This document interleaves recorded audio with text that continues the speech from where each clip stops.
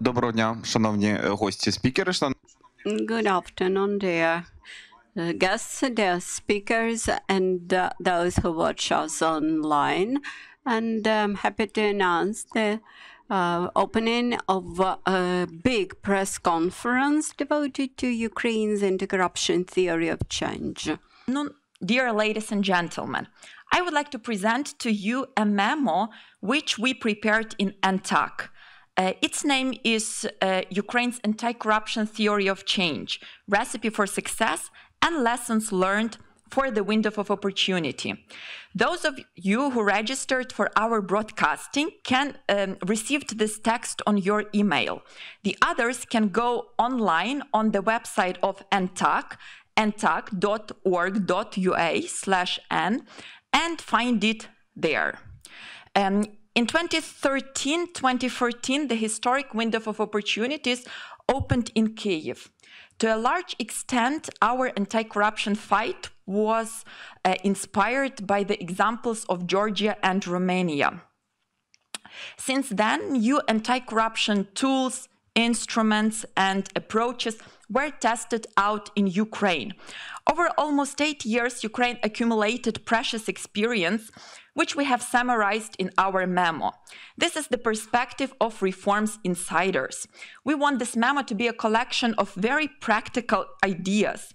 It might be useful for the leaders from the transitional democracies who would like to prepare for the window of opportunities in their countries.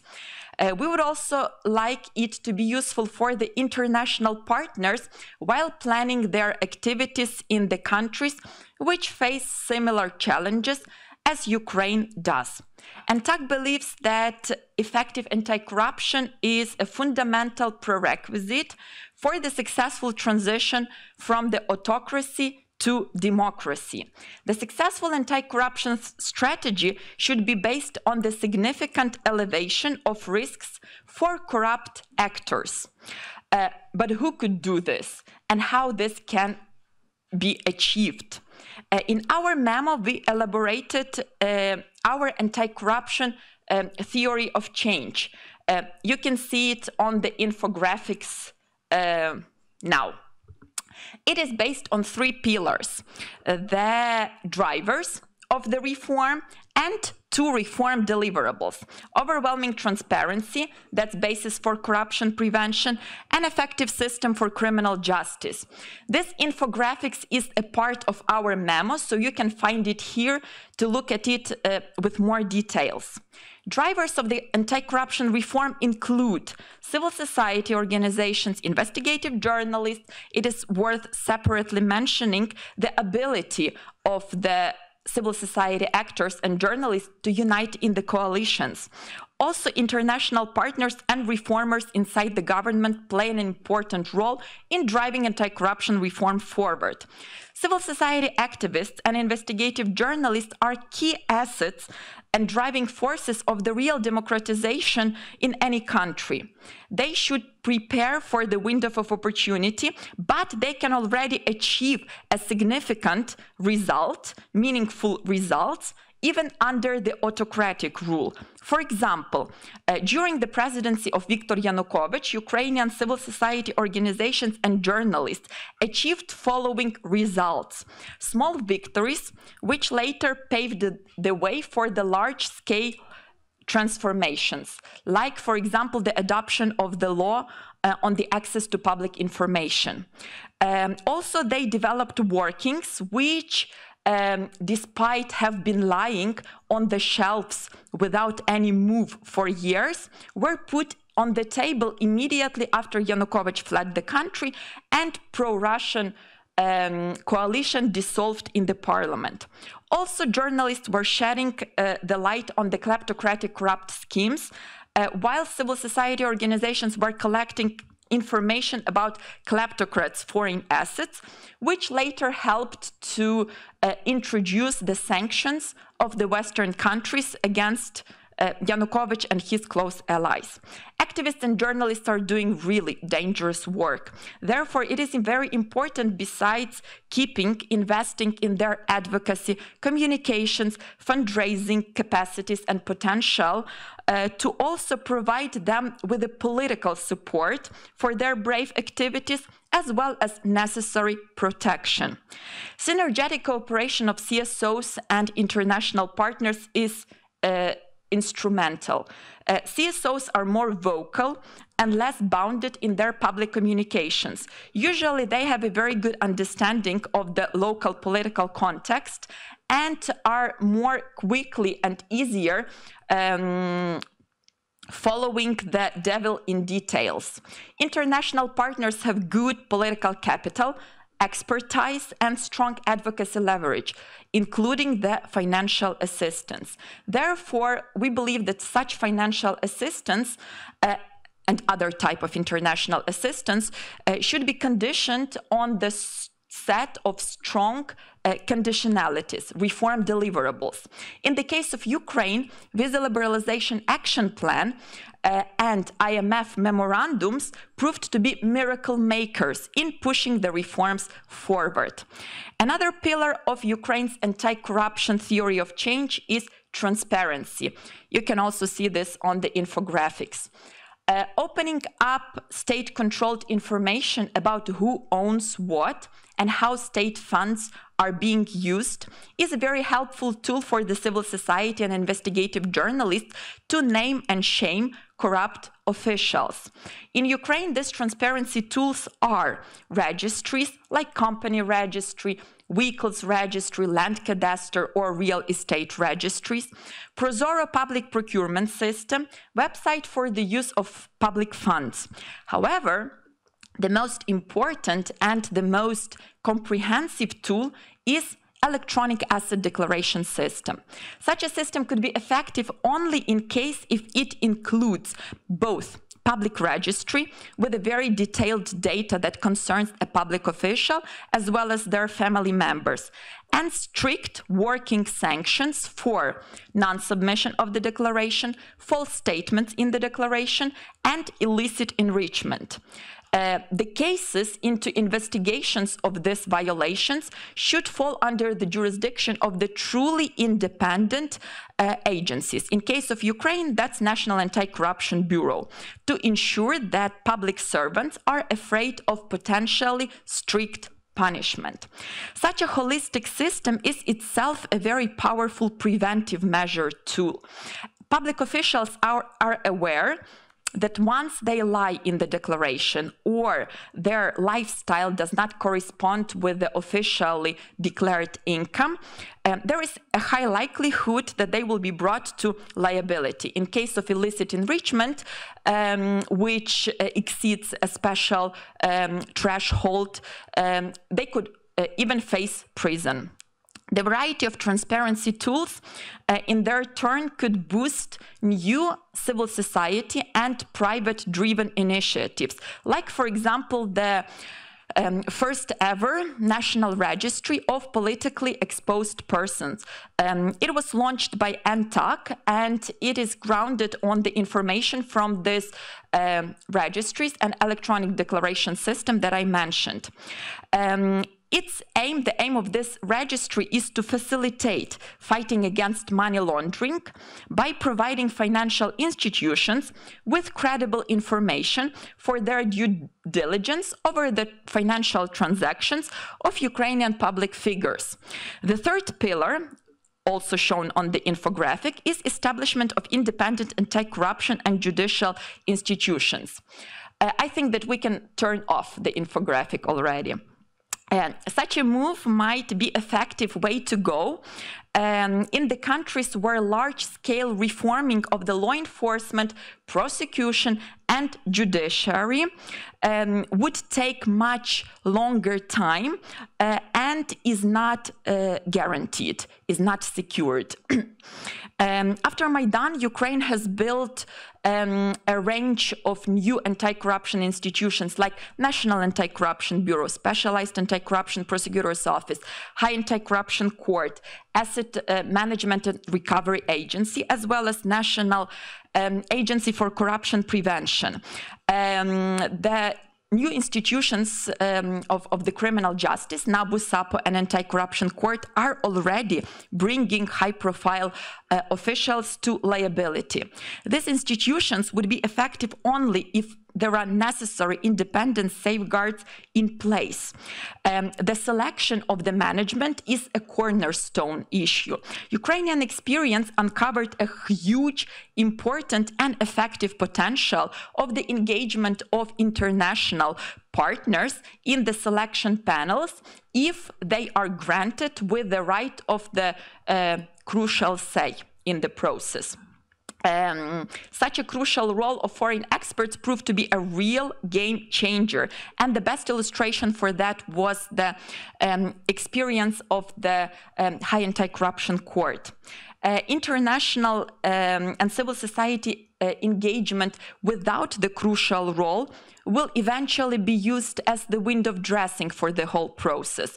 Um, unfortunately, we have um, not a positive experience of the Supreme Court establishment, where the Public Integrity Council did enormously huge job in scrutinizing all of the candidates who ran to the Supreme Court. But because their opinions uh, were not binding, they were overruled by the judicial governance bodies uh, and eventually did not have the proper impact on the whole process of the selections. Um, uh, in fact, the successful establishment of new institutions require the engagement of the reform actors throughout the whole process, well beyond the advocacy of the legislation only. It requires active engagement in the process of the recruitment of the candidates who could run um, for the top managerial, but also to the mid-level offices as well. Uh, it requires engagement in the institutional building, uh, protection from undue political influence, um, and political pressure, watchdogging of the activities or over the um, watchdogging over the activities uh, of these um, new bodies, as well as constructive criticism for their work, is also instrumental. Um, Ukraine's experience proves that countries uh, where corruption is deeply rooted, uh, it's almost impossible to uh, fight against corruption with the internal resources only. So, for other countries which might be willing to introduce the experience of Ukraine with foreign engagement um, in the selection of the management of the new institutions, AntAC recommends for the international community to consider establishing the pool um, of the international experts who might be interested to get engaged in the similar commissions uh, in other countries too, uh, and uh, to, to, pick people um, from that list in case if um, if the countries would introduce similar experience and um, secure the a crucial role for the foreign experts um, in the selection panels. Uh, however, the reflections will not be balanced without the part on lessons learned. Um, so what's the most important um, lessons which we drew from our eight-year fight against corruption. The first one, any window of opportunity should be used uh, to launch the reform of the judiciary. Uh, Non-reformed courts are the real threat to any uh, healthy initiative and any reform in any sector and in any sphere. Um, in Ukraine, we came to understand that judicial reform should start from reforming judicial governance bodies basically the judges for judges. Uh, and then the reform of the constitutional court should also follow. Transitional democracies require flexible approaches and bold innovative solutions. Established European standards of um, uh, um, of the majority of judges taking part in the judicial governance bodies um, would not work in case if the system is not um, cleaned um, before it. Um, together with other civil society organizations from Ukraine, Armenia, Bulgaria, Moldova, and Romania, we developed a set of the recommendations which were presented during this year Democracy in Action conference. And what we recommend that judicial governance bodies should be reformed, taking into account political and historical co- context of each particular country. Uh, it's important to engage independent outsiders uh, in the process of the reforming. In case of Ukraine, there was international partners. If there is the real political will, there should also there could also be the civil society experts, but also uh, only in case if. Um, they are having the, the, the same crucial role as I already mentioned. Um, or it is also important to arrange integrity scrutiny for all those people who are running to take the offices in the judicial governance bodies. Disinformation could be also a real threat to um, disinformation could be also a real threat to democracy, especially if it targets reforms and reformers, including the Western partners. This has been happening in Ukraine for a while. This requires a very proactive communication um, from the side of the reformers. Um, well beyond the bubble of the experts or the um, politically active minority. It is very important to reach out to the wider audience and it could be done via the most effective communications channels. In case of Ukraine, that's uh, television. Um, the owners of the most popular TV channels are oligarchs who are actively doing business with the West. Um, that is why it is logical to demand from them that their channels are not attacking the reforms, and on the contrary, they are happy helping to disseminate the positive messages um, about the reforms. Communicative reform killing should be treated with all due seriousness by the international partners and should also be the subject to sanctioning. Foreign investors and international institutions should feel the pressure to stop doing business with oligarchs whose media attack democracy and reforms. Thank you very much for listening to this overview of our memo. We welcome you to look through the entire text and back, get back to us with your feedback or questions. Please stay tuned uh, as very shortly we will follow with we will follow with the discussion on uh, what's next and what should be the way forward for the anti-corruption reform. Thank you.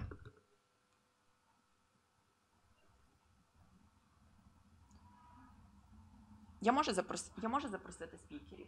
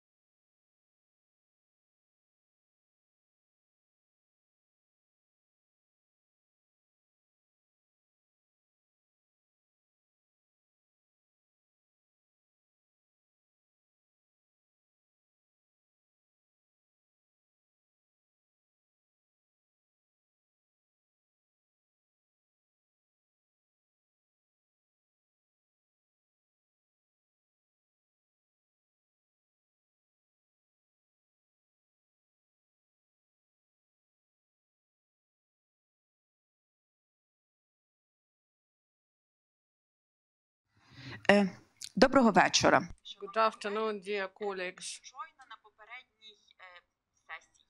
During previous session, I presented a memo prepared by Anti-Corruption Action Center, and this was dedicated to Ukraine's anti-corruption theory of change, and we've described seven years of uh, fight of uh, investigative journalists, international part- um, partners uh, who fought for the biggest uh, democracy achievements in the sphere of um, development of um, anti-corruption institutions. We should speak not only about difficulties we face each day, but also we should recognize the pro- progress. um, and this panel now is dedicated to discussions how to move forward ahead in order to preserve our achievements and to interact better and what should be the main focus for us in order that in five years the societal request for fighting corruption and for justice was satisfied. So I have the honor to present our today's speakers. Yaroslav Yurchyshyn, Member of Parliament of Ukraine, First Deputy Chairman of the uh, Anti-Corruption policy committee. Artem Romaniukov, co-founder of the Save Dnipro initiative. Online. Alexandra Gubitska, editor of Nashi Groshi Lviv, and Frank Paul, uh, governance and rule of law digital team leader at the, um, the э, support group for Ukraine European Commission. We give the floor to Yaroslav Yurchyshyn. He is the former head of uh, Transparency International Ukraine, and uh, now you have uh, versatile experience in advocacy of uh, anti-corruption reform and you know about many drivers of changes. What should be done in order to preserve our achievements and to continue to support this impulse of reform, reform's momentum? The first and the most important reforms, they are not the state, they are a process. That's why we should provide institutional support uh, to anti-corruption bureau and uh, um, uh, National Agency for Preventing Corruption and to help anti-corruption prosecutors office and the agency that deals with confiscated assets about the first one about uh, specialized prosecutor's office there was a contest and uh, we promised uh, to our international partners to deal with it properly. Uh, there should be two aspects dealt with. We should provide legislation for independence of this contest and uh, the unique recipe for anti-corruption action is a proper independent selection process of the management of this institution and also um, constitutional court and other bodies they should uh, deal with these issues properly and our international experts should be uh, heard and uh, also um, there is lack of uh, uh, proper office uh, of SAPO and General Prosecutor's Office. This is uh, 100%. Uh, these people are not independent, and we should improve legislation for ARMA at the stage of planning and at the stage of management of confiscated assets. We need proper cooperation with our international partners. And uh, now we are at the stage when institutional support, and here I should remember organizations of civil society.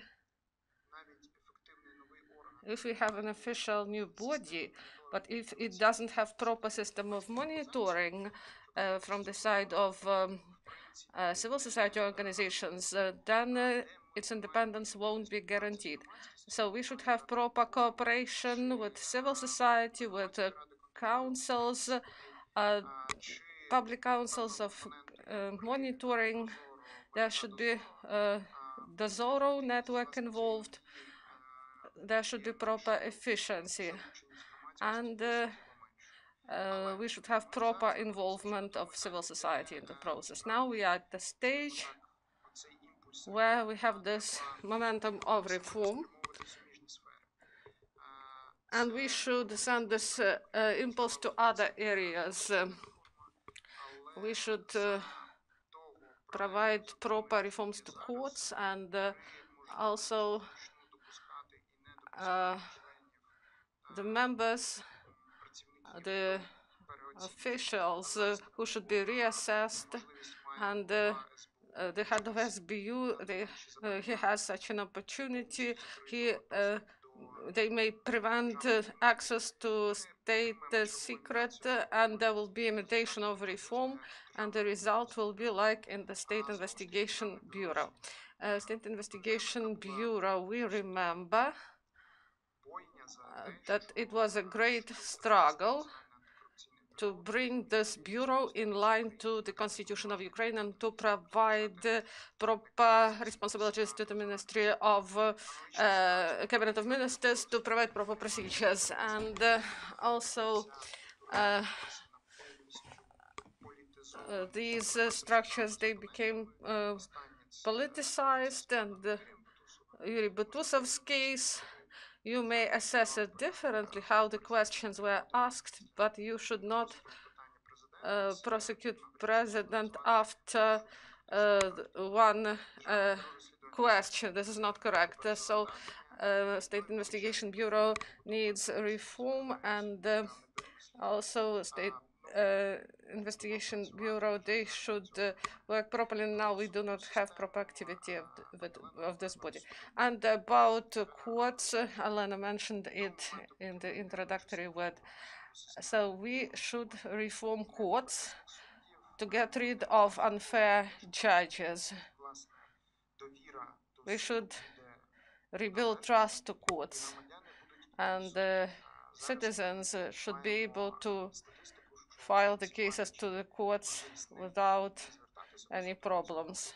So uh, people do not like to address courts uh, uh, at the moment. So now also important issue is uh, fighting oligarchs and um, we do not use mechanisms properly. Anti-Monopoly Committee of Ukraine or law enforcement system and profile ministry and regulatory commission in the sphere of energy and in the sphere of media. Why we do not use these mechanisms? Because they are inefficient.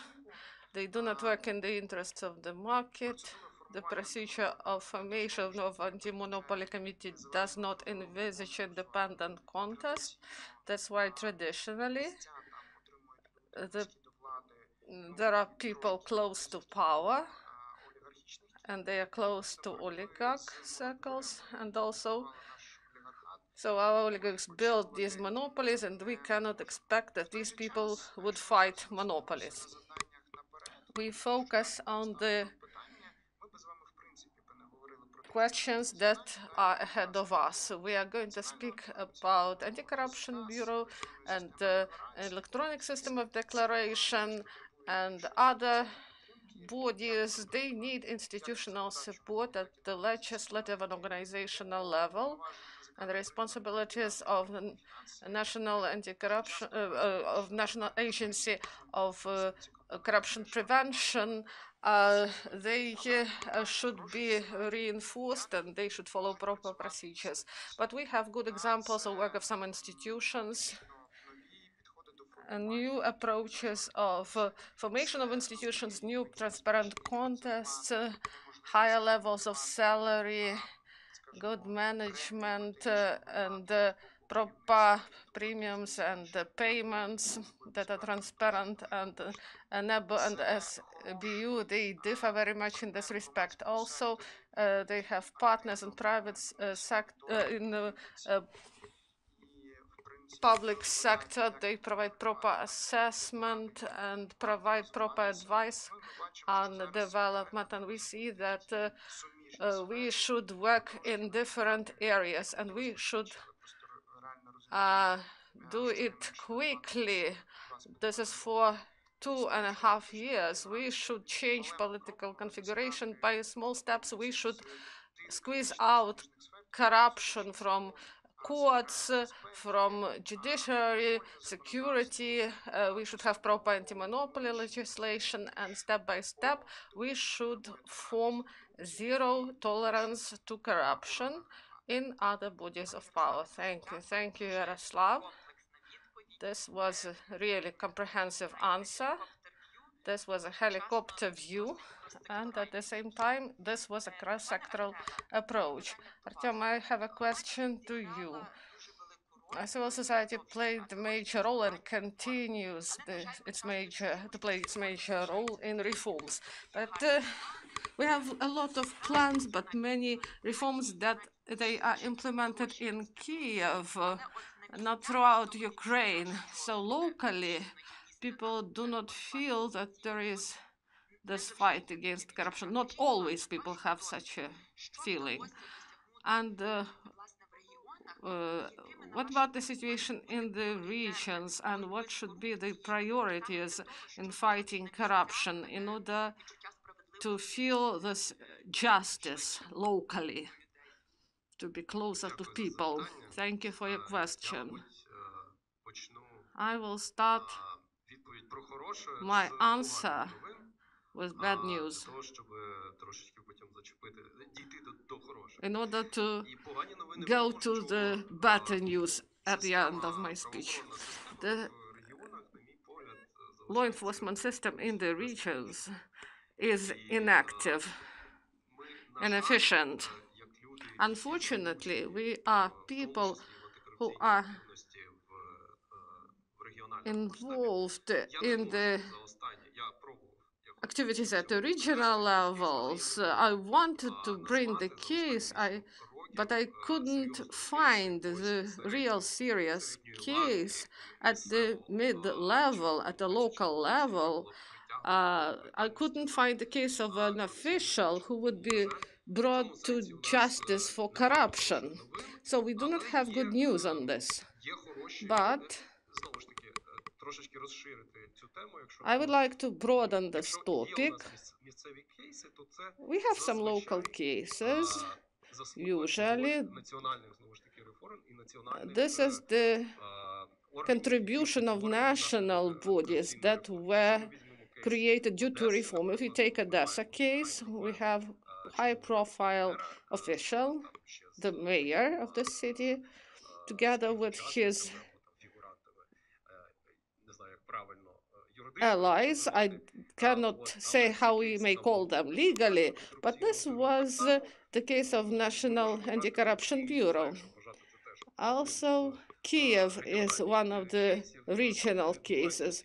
Here, all reforms are done, but the corruption that is flourishing in the sphere of development, this is under the radar because uh, there are no players who may deal with it efficiently in law enforcement area.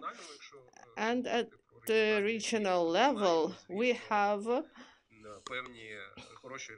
some good things that allow our civil society work efficiently. This is access to open data, to registers, and it was mentioned before. And uh, it allows monitoring, and they may bring this information to, a, to the broader public. There are registers, the system of public procurement that is called Prozorro. So due to the system, now we are able to see many things, but there is lack of proper environment around Prozorro. So we opened the procurement, but state audit service remains unreformed. Key actors who should provide controlling function in procurement, they are the same. They didn't change.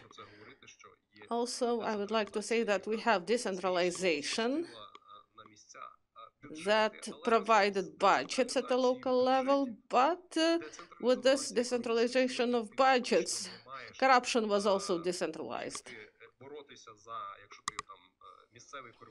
If you are a local corrupt official, in many cases, you do not need to fight for the position at the cabinet of ministers or to go to the parliament. Budgets in the big cities, they are uh, big enough so they may stay at a local level and to have the same corrupt profits as they had before at the national level. So this is about lack of control at the regional level and the lack of efficiency of law enforcement bodies. So we are working uh, together, and uh, this is about environment, uh, environmental and anti-corruption issues. And I would like to say that in 2017, the law entered into force that allows the public to take um, decisions uh, in uh, environment issues.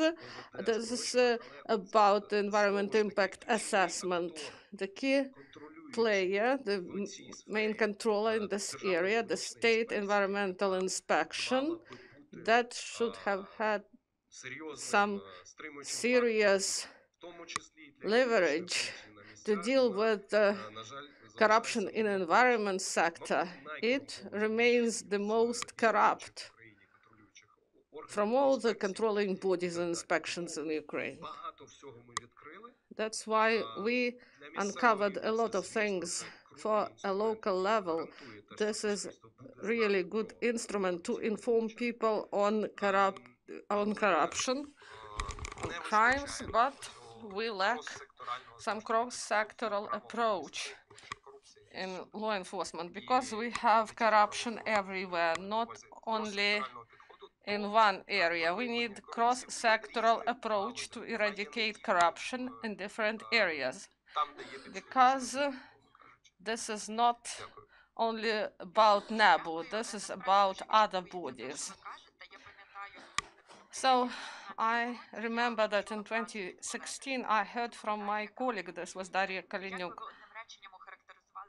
uh, one sentence uh, what reform is.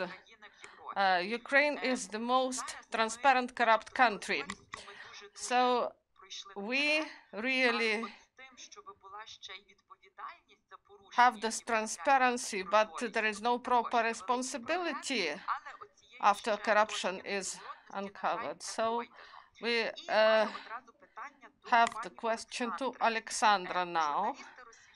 Investigative journalists, even in times of Yanukovych's presidency, were capable to find a lot of information.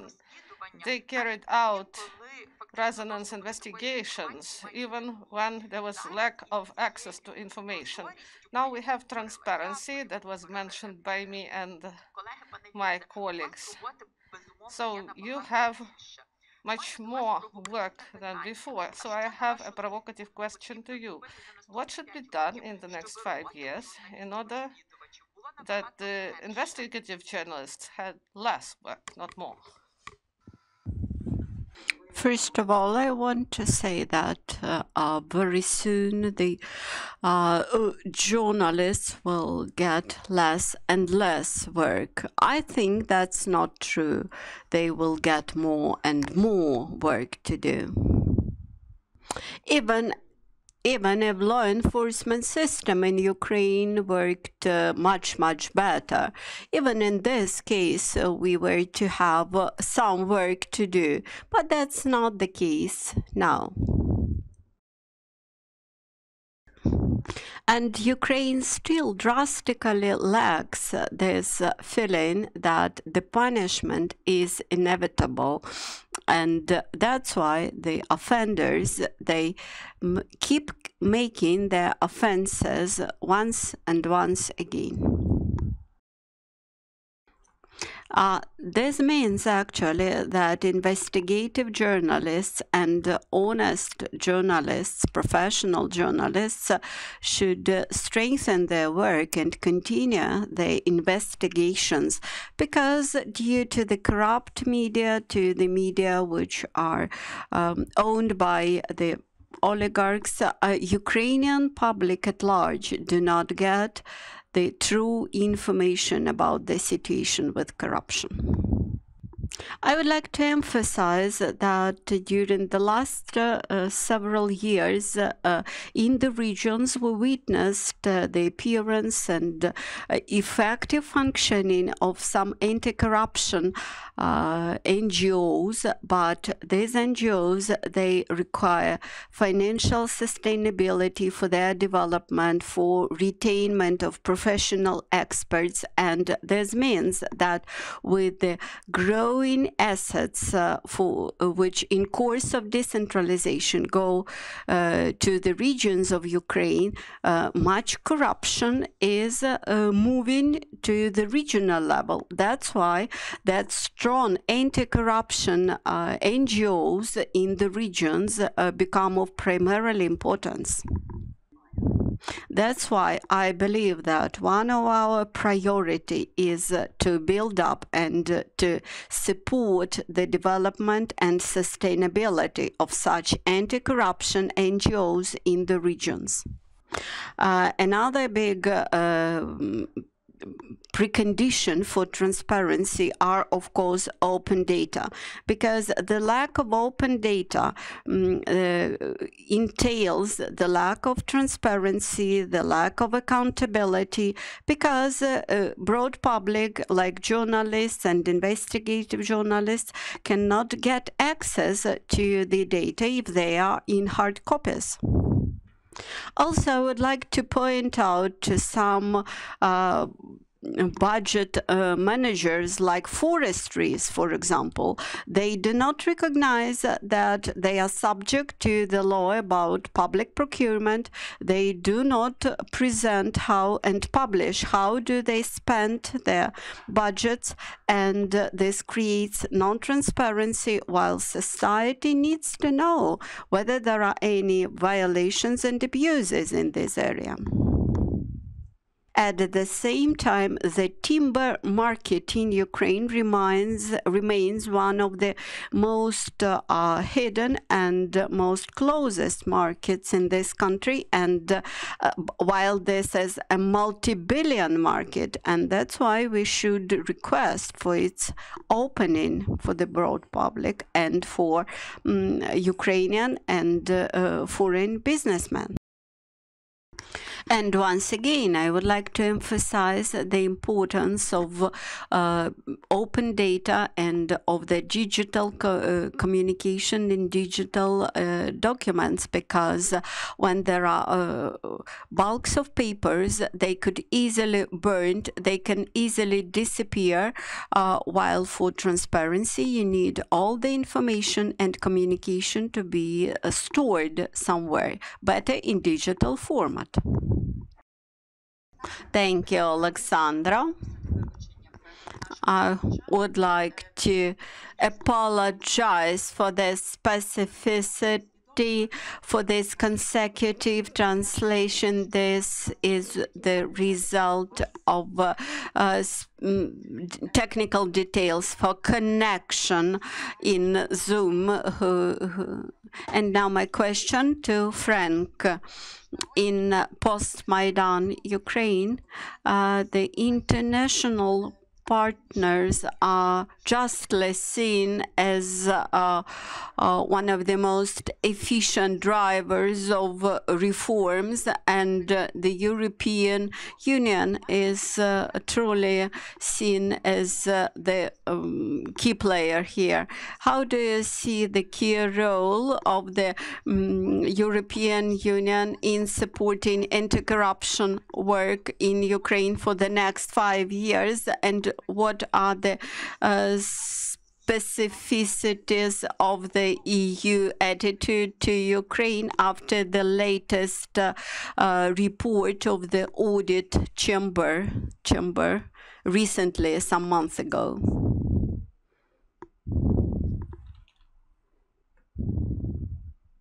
Okay. Thank you very much for, for having invited me and uh, for this question now. First of all, it's obviously easy for me to speak as one of the last speakers because uh, I, I can only agree with almost 100% with what everybody else said. I think Alexandra Hubytska has uh, hit the nail on the head when she said a very simple truth that goes beyond any theory of change. You can uh, indeed develop a lot of paper-based theories and about how you would change the situation and how you would have less corruption, etc. But the basic truth remains. Why is it so that in the European Union, I'm speaking of countries, for instance, Denmark, Germany, um, Spain, Portugal, why is there less corruption in Ukraine? I'm not saying that there's no corruption, but why is there significantly less corruption? It is definitely not because people there are morally better or because they're less prone to being seduced by uh, by uh, uh, earning more money on the side. No, not at all. It is because they live in fear and terror. Every official knows that if he gets caught being corrupt, if he gets caught, and that's not only officials, everybody, everybody knows that if he or she is being caught being corrupt, he or she will go to prison. Absolutely no exception. There's no way you can buy your way out. You will go to prison. And what's worse, uh, probably you will not only go to prison, but you will also be socially stigmatized when you get out, which is sometimes a worse punishment for people than actually uh, going a couple of years to prison. And that is really the key. Um, being able to really make no exception, to have a policy of zero tolerance that basically installs fear in people. That's the basic truth. And I think there's still some way to go in Ukraine. Now, how do we get there? And um, what do we think as the European Union is, is important here? First of all, it's already been said, so I'll be short on this sustaining the independence and effectiveness of all the anti corruption institutional infrastructure. Now, it has been successfully established, but as you all know, it's a daily fight to keep them uh, on the right path, to make sure that they continue to be independent. Uh, and very important also that the delineation of competences remains clear. As soon as this becomes blurred, it's going to be a nightmare. And uh, the next possibility where such delineation of competences might be a problem is when hopefully um, the uh, large scale smuggling of commodities will be criminalized in Ukraine. That's a key element to close the, the space for corruption. And once that happens, the key question will be which bodies will be in a position to investigate cases of large scale smuggling and the surrounding corruption. And here it must be absolutely crystal clear who does it and who has the competence. Then, um, also, when it comes to the recruitment of management and the senior staff, it is very important, obviously, that they maintain high level integrity. And I think the path that Ukraine has wisely chosen meaning that for a limited transitional period, you ask international donors to be uh, also um, involved in this process is a very wise um, decision. Um, and I think that has helped to make sure that there is less internal influence of vested interests on the bodies that uh, are supposed to select and recruit uh, this senior staff. But then it's not only about um, obviously um, you know going after the symptoms of corruption, but it's also equally important, if not more important, to go after the underlying causes. That is, you need to have a stronger focus on prevention of uh, corruption, and that again is about reducing the space for it in key sectors. And um, indeed, this means that um, sorry, I, are some incoming calls. Um, it means indeed that these key sectors must be, for instance, in competition, we need to strengthen the competition and state aid control system to prevent high level corruption and reduce the oligarchic influence in concentrated markets. That is very important. It has already been to some extent successful, for instance, in the energy sector, But here also, there's still a lot to be done. I think uh, the mandate and the capacities um, and also the professionalism and integrity of the energy regulator still has room for improvement. Um, when it comes to legislation, I think what's very important, not yet really done, is a systematic anti corruption check of draft laws.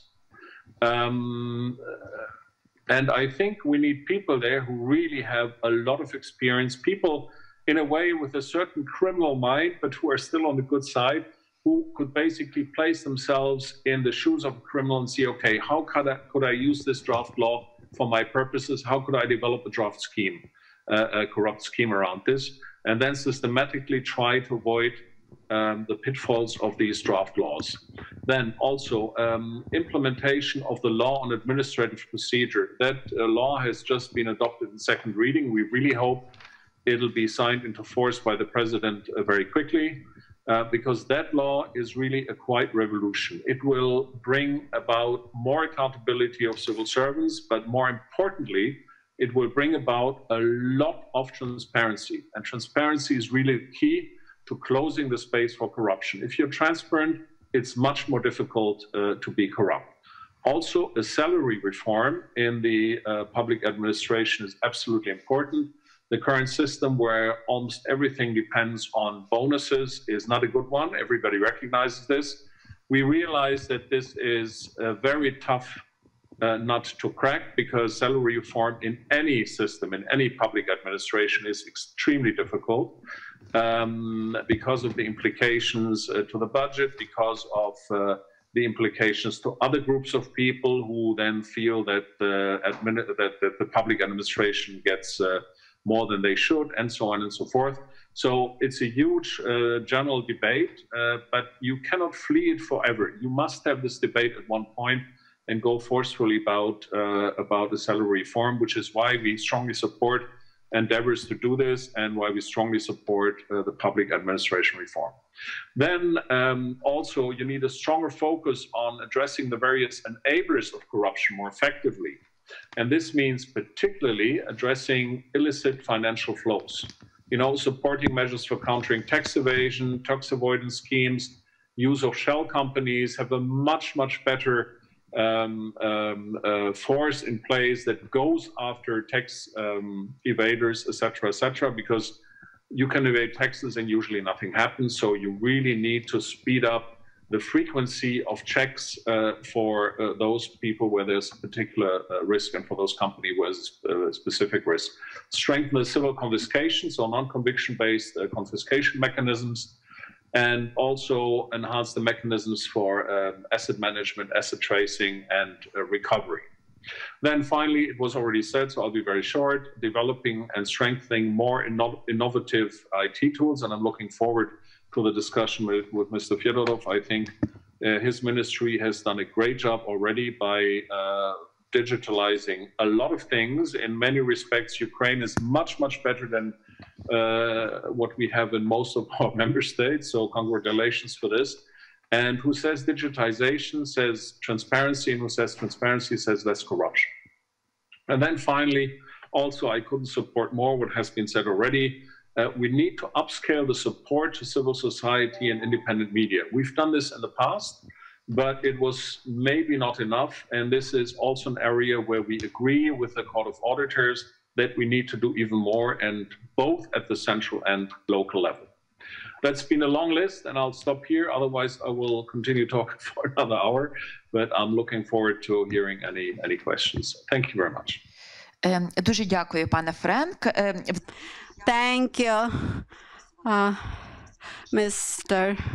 Frank, and uh, uh, I'd been uh, writing after you, and uh, now I see that we have a long list uh, of to-dos uh, for the next five years, and uh, uh, as far as I understand one of the most important is uh, to preserve and to strengthen the institutional capacity of anti-corruption bodies which uh, uh, already exist in Ukraine to uh, launch the efficient functioning of those bodies. um,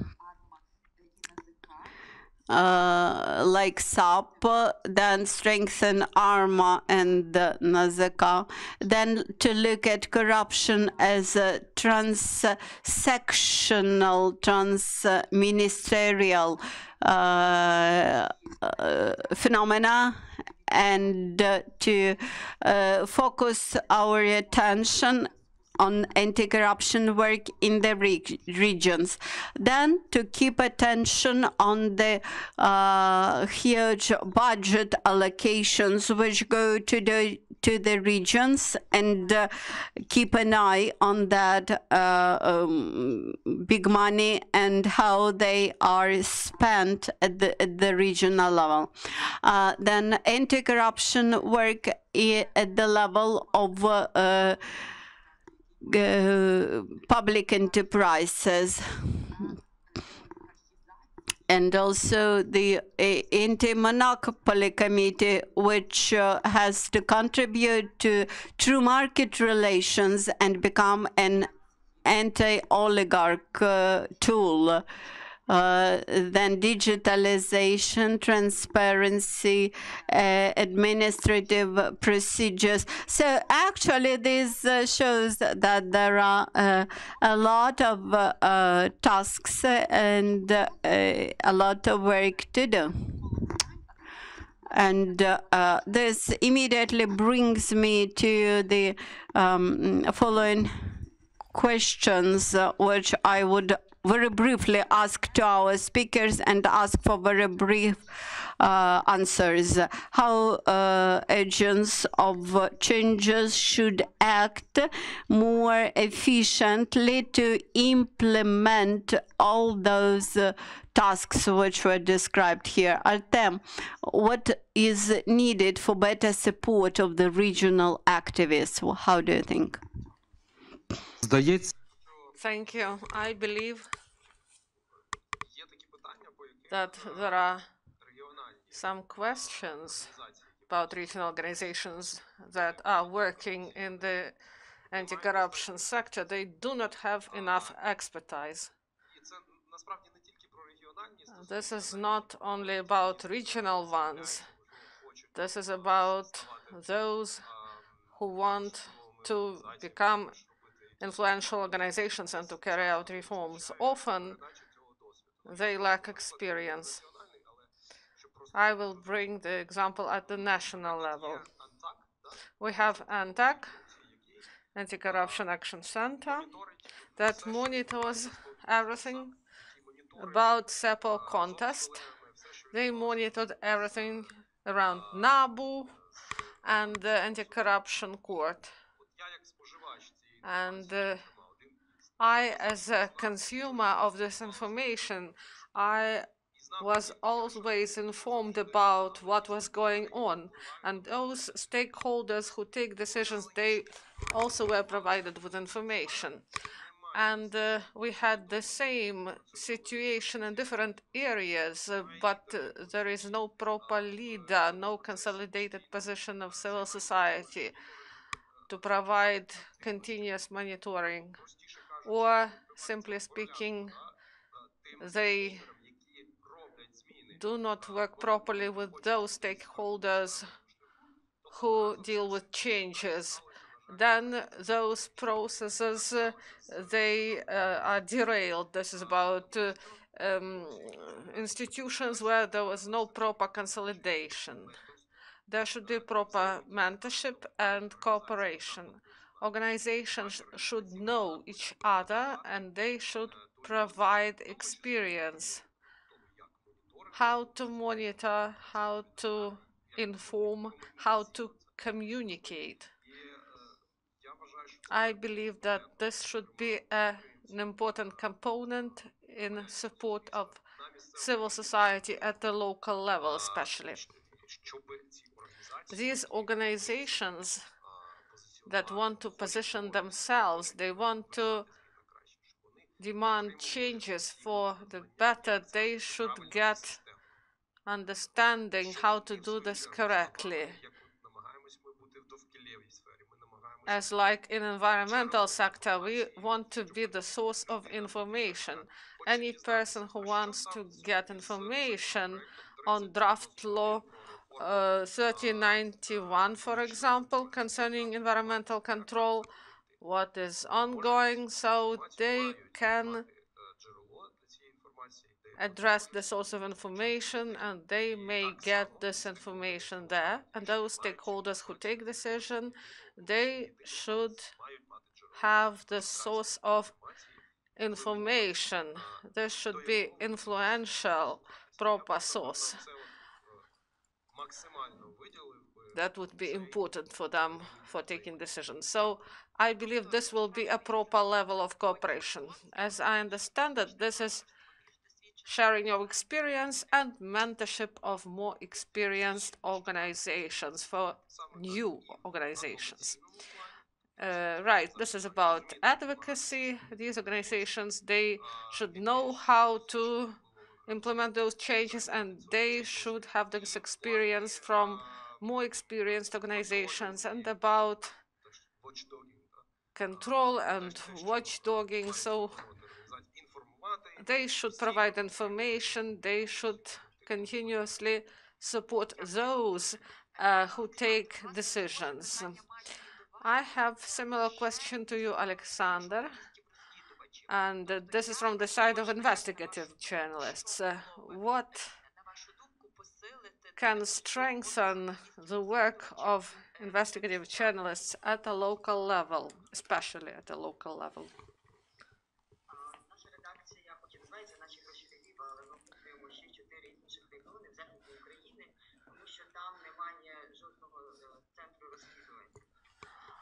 Uh, so uh, our uh, news outlet is Nashi Groshi Lviv, but uh, we cover also for more regions uh, of the West because they do not have their own news outlet for this topic.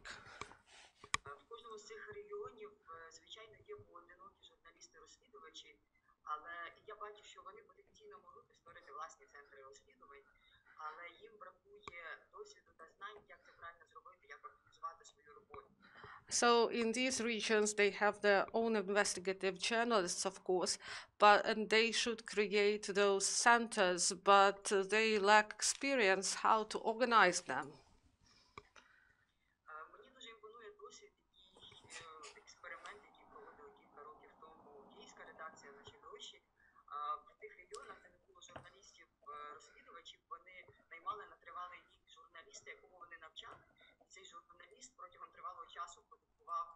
цікаві резонансні розслідування в цьому місті. І це дійсно спрацьовувало як інформаційна бомба в тих містах. Uh, so I like the experience of Nashi Groshi Kiev. Uh, they had such an experiment. They hired a journalist and uh, trained uh, uh, this journalist for the work in some region, and uh, this work was really great. It was like information bomb.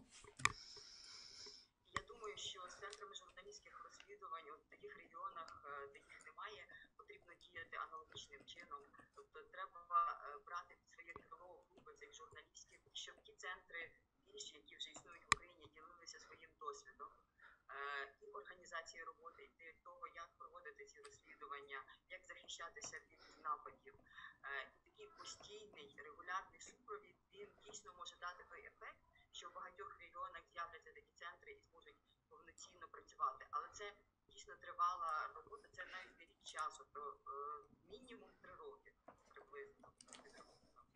Uh, so we need such centers for investigative journalists in uh, different regions of Ukraine. And uh, those uh, uh, regions that do not have such centers, they can be helped by uh, those regions who have such centers, and they may provide proper expertise how to organize the work of the center, how to carry out these investigations, how to resist attacks on journalists, and uh, they may help them in organizing all this. And I believe that we need about three years to do all this.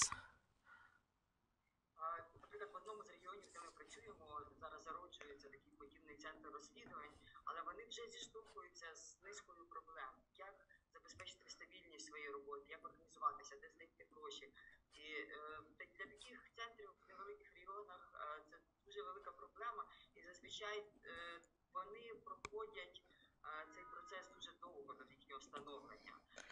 Це було при- приблизно те ж саме і на прикладі нашого центру, тому що дійсно перших п'ять років ми дуже сильно боролися за свою стабільність і переймали досвід колег з Києва, які постійно настанов- настановлювали нас, як і що потрібно робити, як збудувати роботу цього незалежного медіа в регіоні. Uh, so now one of the regions of Ukraine is trying to establish such a center of investigative journalism, and uh, they uh, have many problems. Among them stability, how to organize everything properly, and how to find money for their activity. Uh, so this takes a lot of time, and I would like to say that for the first five years of work of our center, we also had some problems with stability and other issues, and our colleagues from Kiev Kiev, they greatly helped us in this.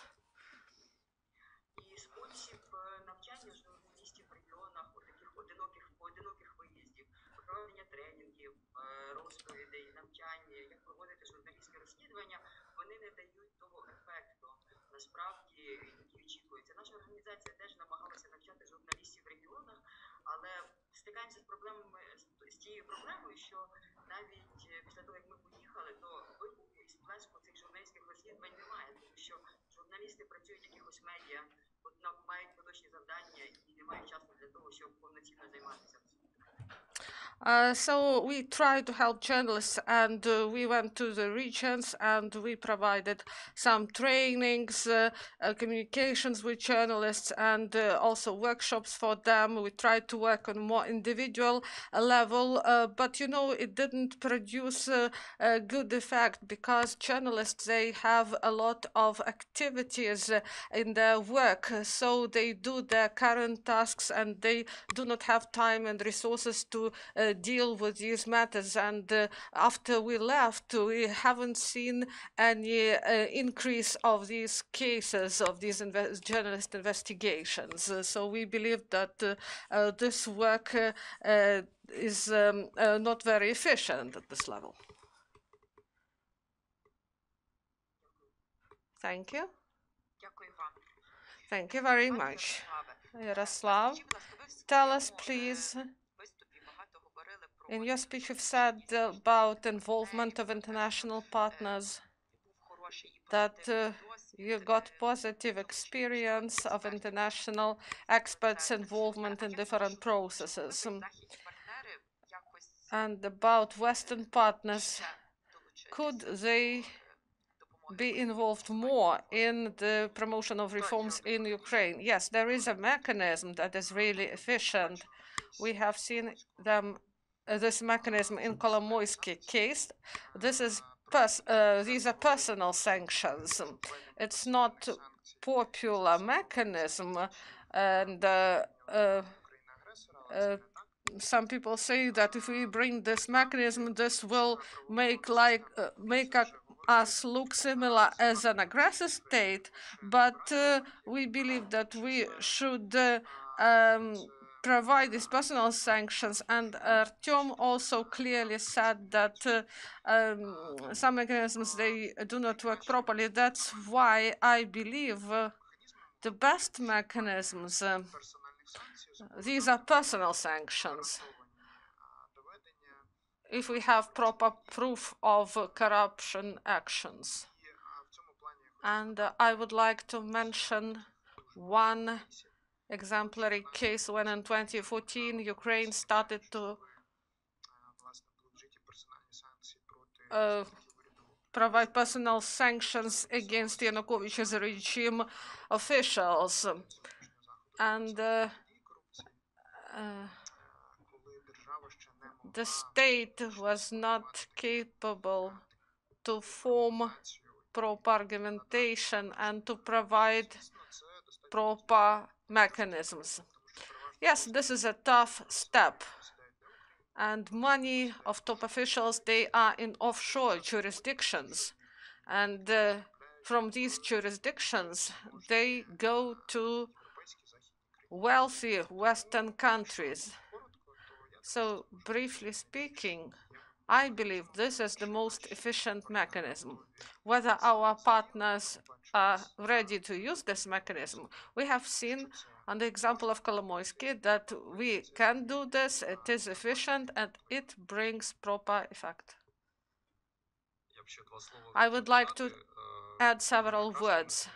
There is a wonderful mechanism of macrofinancial support that is linked to implementation of reforms. If we have positive experience of selection of officials uh, uh, with the participation of ex international experts, we may scale up this experience. Ukrainian situation shows that the leaders of newly created bodies, they identify their fate. The law may be great, but it would not be implemented if the procedure of selection of officials is not right. So I believe that we need to have these conditions spread to, to select uh, environmental inspection uh, members and state audit service members. So many new cases may be uh, created due to this. And I see that Mr. Fedorov came now. So uh, also you've said that uh, uh, we need to fight more with uh, money laundering. And uh, we should make our do our home task. And Yaroslav mentioned that a lot of money is going to the Western countries' jurisdictions.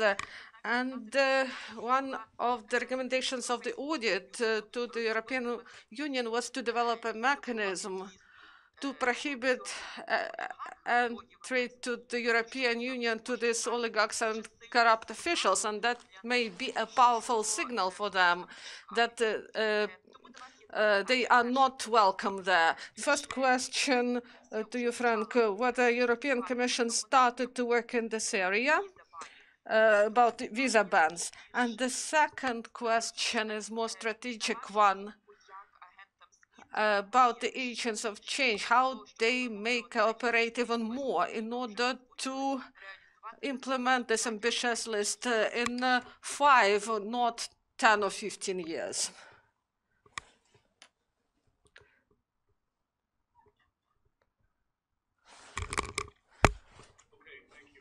Um, as regards the, the visa bans, this is, um, I'm afraid, a very tricky one because um, we are governed by the rule of law, and the rule of law works both ways. Unfortunately, the rule of law also works for criminals because they have the right to defend themselves, and which means that if you want to implement a visa ban, you have to have very clear proof and not just some, you know, vague allegations that uh, this person um, did things that uh, you know can lead to a visa ban.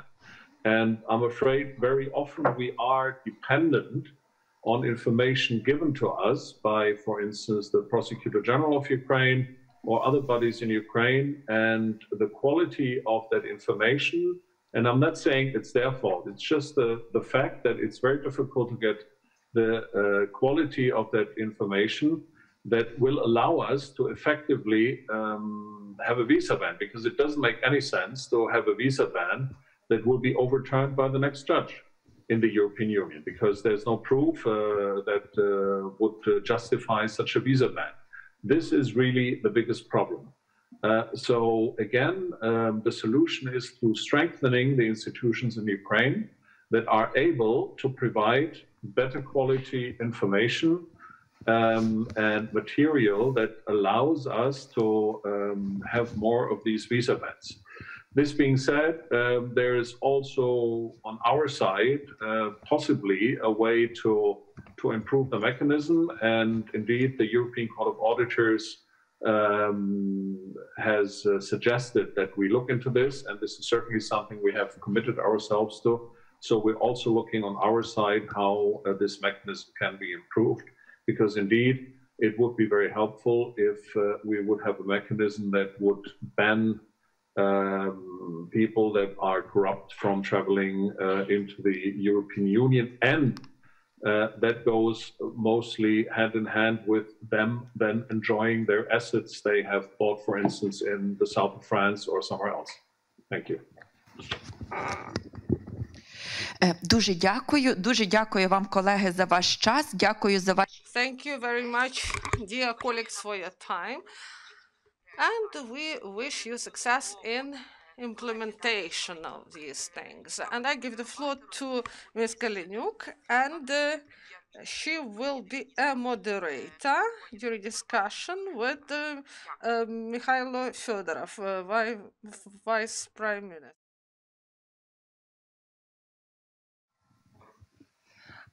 Ми продовжуємо наш сьогоднішній захід. Мене звати We resume our today's event. I'm Daria Kaleniuk and uh, I am from uh, I'm executive director of AntAC. and today we have uh, Mykhailo Fedorov with us uh,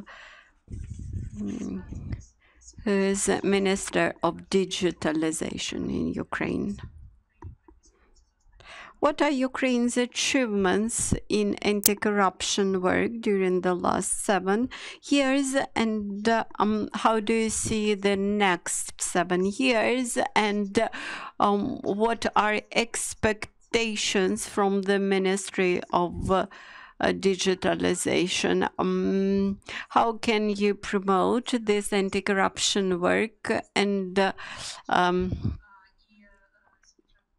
Mm, today Frank Paul even uh, mentioned that Ukraine, in terms of digitalization, is uh, better than some EU countries, and that he uh, rely on your ministry in anti-corruption work. So, what is your vision of these uh, things? I've been working in the Ministry of uh, uh, digitalization for um, for two years now, and I feel that uh, that digitalization could be only one tool in anti-corruption work. Why only one? Because uh, the process uh, themselves uh, should be clear and understandable, and then you may go digital with those processes and uh, uh, uh, digitalize the procedures. Uh, for example, today we are able to demonstrate how much uh, money could be saved by Ukrainians when they um, uh, go for some digitalized services, for example, like business registration.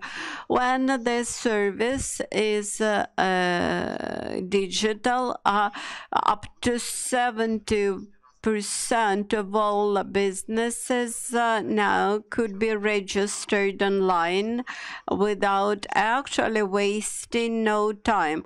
Mm, In the past, if you were a resident of a small city or town, you had to go to bigger mm, uh, uh, center. Um, and uh, uh, they wasted time, money, and uh, while now there's saved money, these are money saved by people. These are 80 million of hryvnia. Although uh, before we realized that uh, the uh, corruption there was un- almost unnoticeable. Um, Uh, the next uh, um, is, for example, construction sector. Uh, recently, we had launched the digitalized service of informing the state that you uh, want to start some construction project, your private construction project, and uh, many um, aspects of this um, registration, uh, I mean construction services now are digitalized.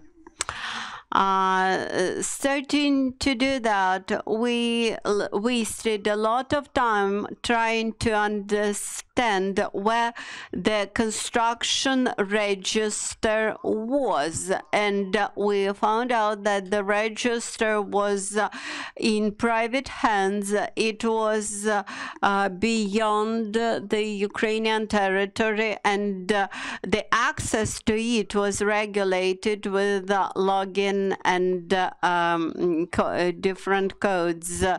Mm. Uh, then we had analyzed uh, that register together with the NABU SBU and brought it back to Ukraine and uh, we uh, found out that there was a special script in that uh, um, mm, register. Uh, which uh, calculated carefully the bribe that had to be uh, requested when you tried to register some uh, piece of property in that register. And now we had created a new register, new big system. It uh, now uh, the construction uh, inspection is cancelled. Uh, uh, and thus we had subtracted that primary uh, register to re-engineering and this actually um, resulted in absolutely new services. This illustrates that uh, first you need to have a good product uh, which contains the right procedure. And then this uh, internal logic of that uh, right procedure could be digitalized. And uh, only in this case you um, will get best results. Uh, for example, uh, uh, having analyzed that script, uh, vulnerable script, which um, requested bribes for um, registration of the square meters, we saved some 3 billion hryvnia. Uh, the next item is about open data. We were uh, uh, the um, among the initiators of the uh, opening of information from companies who are uh, corporate taxpayers. Uh, uh, before doing that, we had a lot of journalist investigations. Mm, now, this data will become open. This year, we we will look at the uh, internet uh, coverage allowances. that is. Um, uh, how uh, the national budget allocations for the co internet coverage uh, in uh, scarcely populated areas uh, are used and how bribes are requested by big companies. So, doing that uh, digital service, we had to analyze the internet coverage in Ukraine, understand which areas are not covered with uh, uh, uh, good uh, internet, and uh, then we produced a map and uh, found out where the uh, coverage was the poorest and uh, mm, then brought providers on the map also.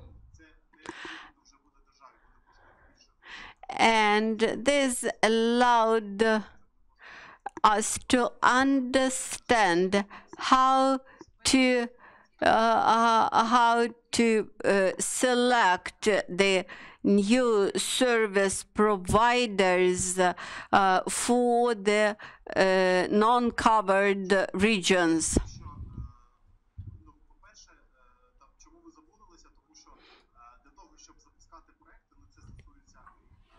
Uh, in order to launch any project, in Ukraine, you should predict where the um, uh, uh, abuse is possible, where the misuse is possible. And uh, then you should make an anti-fraud system and prevent uh, this from happening. Uh,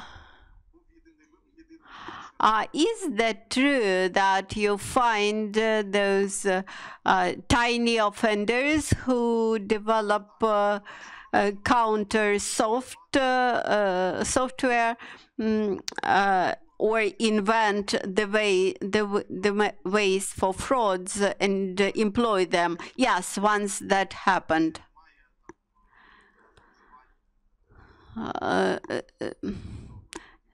So in result of uh, um, our uh, survey we understood where the hidden possibilities for corruption existed and prevented this situation. In uh, thus we use open data in uh, internet coverage in uh, construction uh, or development, uh, new development registration. Mm, uh,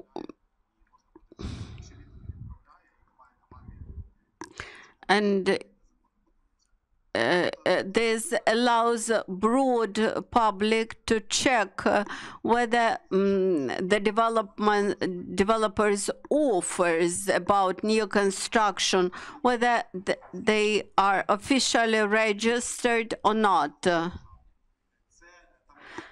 Uh, governmental services actually uh, mean that the state is ready to resolve the uh, issues that people have. And uh, that's why the policy which is to be implemented by the ministries has to be clear uh, by uh, uh, has to be clear to ordinary people.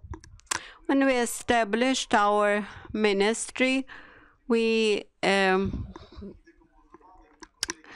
uh, we, we from the very uh, uh, beginning uh, de- uh, developed a good communication policy. That's why we have a public dashboard of all the projects, and this allowed us to uh, mm, digitalize our procurements and uh, uh, and save some uh, 6 billion hryvnia on the um, mm, public procurement.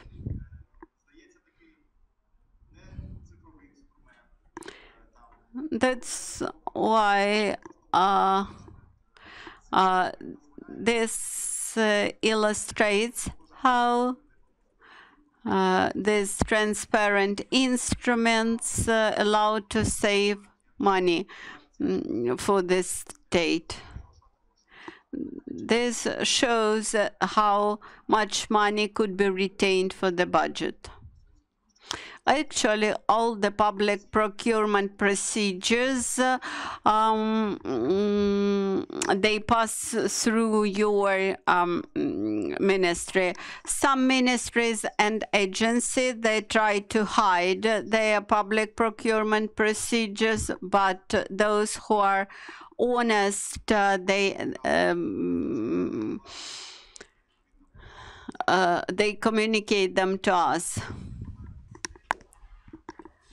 Uh, and uh, we uh, may prevent payment for the um, contracts which exceed some threshold amounts.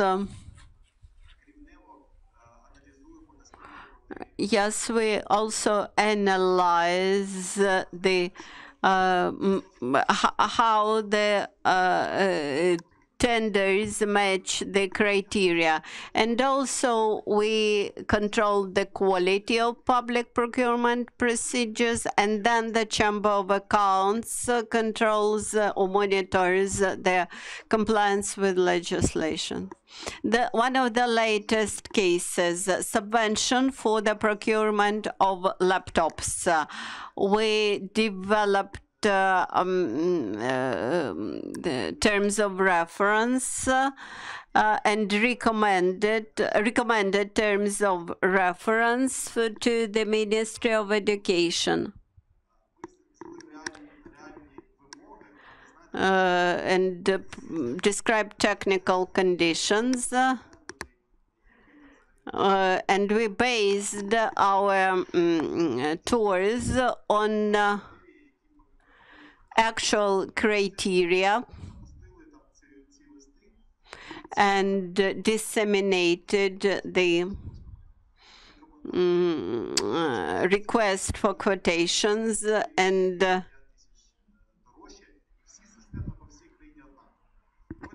and um, later on, together with SBU, we have found one um, mm, person who actually committed a fraud. He uh, persuaded um, all the participants uh, that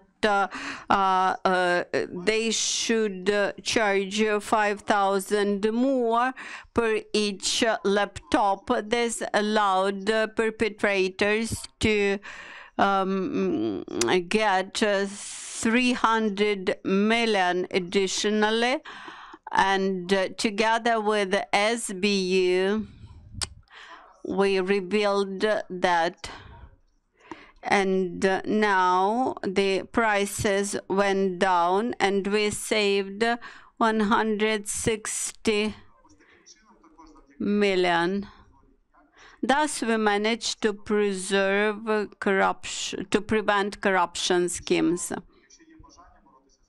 That is if you wish to curb corruption you may succeed and digitalization may help you. But in order to do this, you have to uh, design the right process. For our ministry, the ideal uh, service, this is the service without uh, uh, bureaucrats at all, fully digitalized services.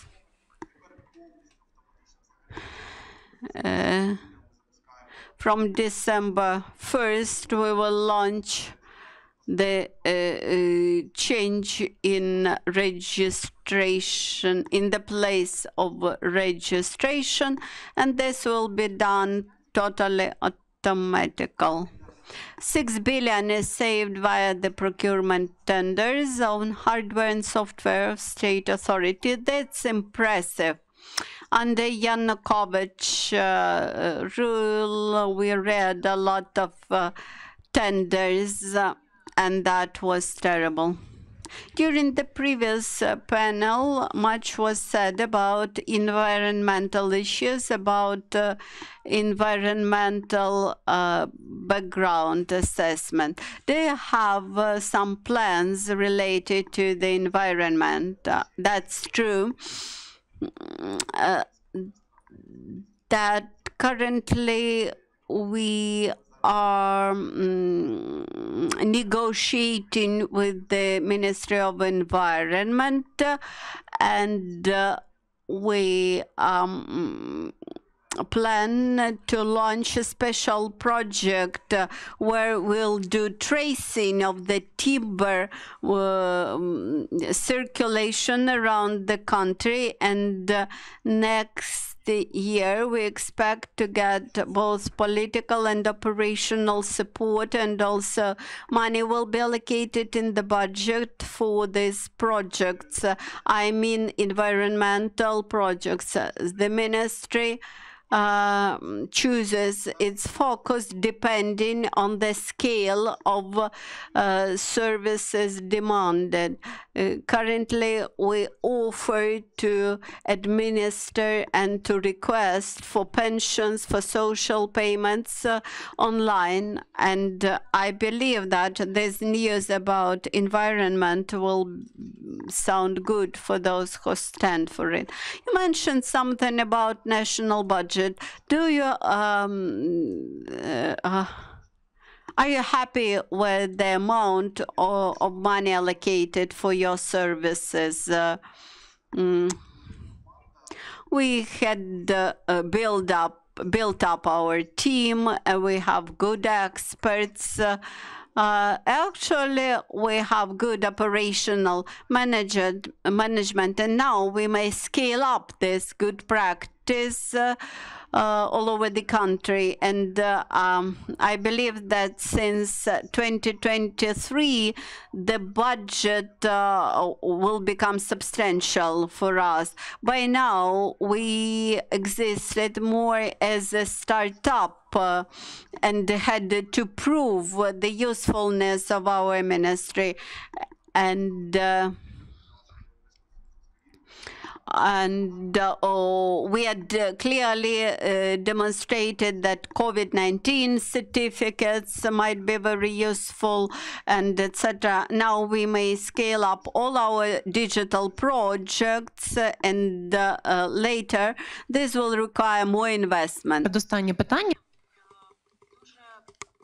One more question. I heard from our international partners, they ask you have DS, they said, you are progressive. Why it is so difficult to take decisions and there is no digitalization inside the state? In order to take a decision, one should go to different minister, ministries with paper documents. Do you have plans to improve the situation, this digitalization? In state management? We should consider concrete situations. Uh, 90% of all of documents are signed online using an application. I do not suffer from bureaucracy, so it can be done. A lot depends on the managers at the ministry. I believe in the Ministry of Justice, they also have this digital format. It depends on management and the culture at the level of legislation, at the level of the cabinet of ministers. Enough is done to do everything online. So some bodies, they uh, do this, some don't. So this depends on the management of these institutions. And uh, government may also work online. And uh, this year we were living in the online format. Uh, only separate meetings were held uh, in person. So we have uh, deputies on digital transformation. They have their teams. So young specialists join those new specialists, it doesn't mean that they are actually young, it means that they are new in the sector. Do you search for people to build proper team? We have great HR team. We hired 100 people in contact center to help the healthcare ministry to deal with COVID certificates issue. We have uh, Diia team, and we have IT talented specialists. We involve them in the development of Diia, and we try to help other ministries. A lot depends on the trust to power, the cabinet of ministers, and uh, we should provide proper compensations for people. A lot depends on different factors, whether you will be able to involve new specialists. There may be some mistakes in your horizontal interaction in your team. So this is last question from me. I know that in our country it is really difficult to plan even a year ahead, let alone five years. Let's look a year ahead. This is possible to plan. What are three main priorities in the Ministry of Digital Transformation? We have four priorities actually. Okay till um, 2022, we would like to digitalize uh, 70% of the most popular services. We may provide a list of those services. This is plan 2.gov.ua. We have all plans of digital transformation there. Second, next year, we want to provide digital literacy to about 2 million Ukrainians. Because we should properly use different services, we should protect our personal data. We provided such education to 1 million. Next year, we would like to have 2 million. And also to provide fixed internet, 5 to uh, 6 7 percent, and uh, also to provide 5 or 7 percent more of mobile internet to those settlements where they have more than 500 people. So, uh, fif- fif- uh, so we would like to improve quality in order that people be able to feel this quality of internet connection.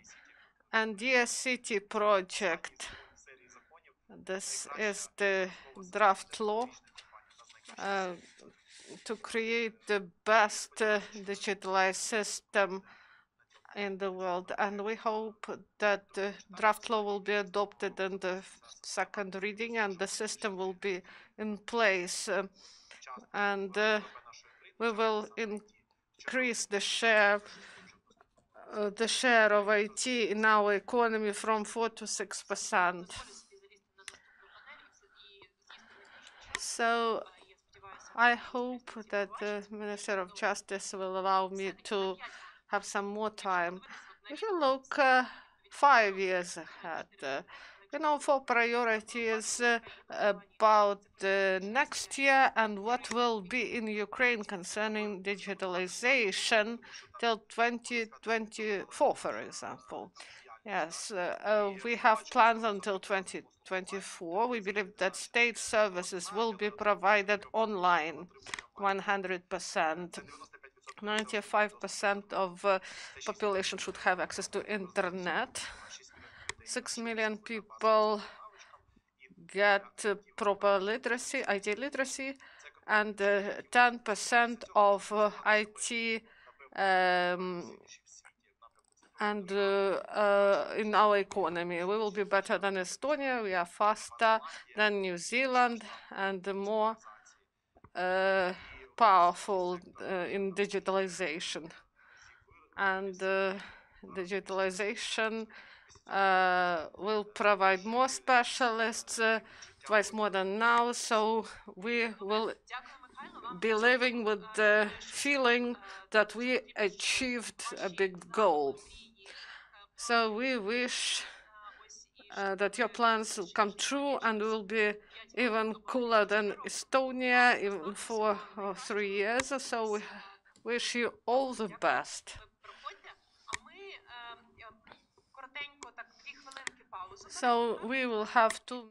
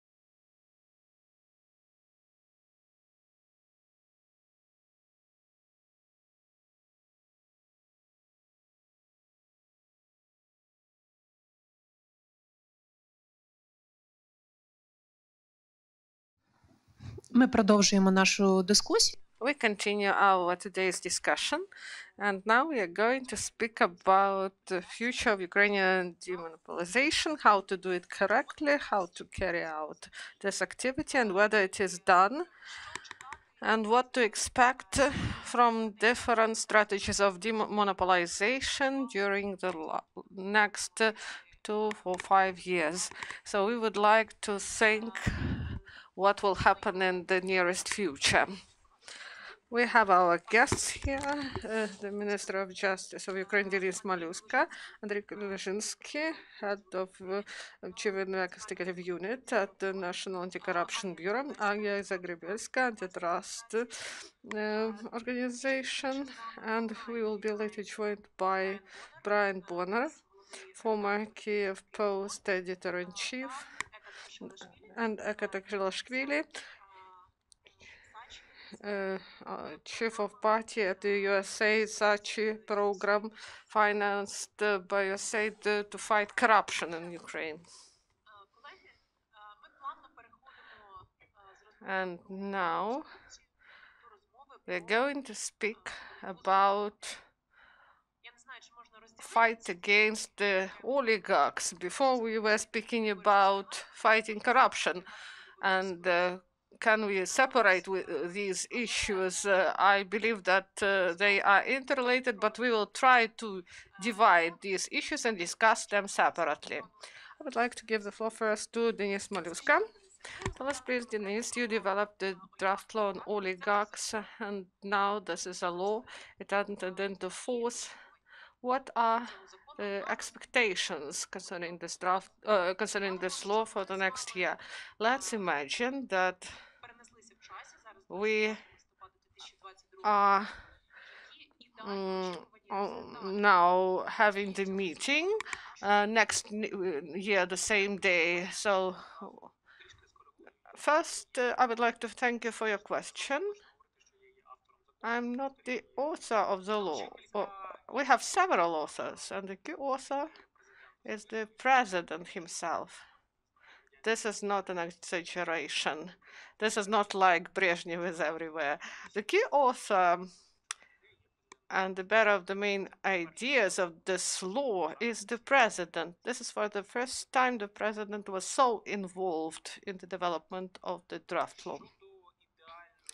About some ideal goals that may be reached in a year.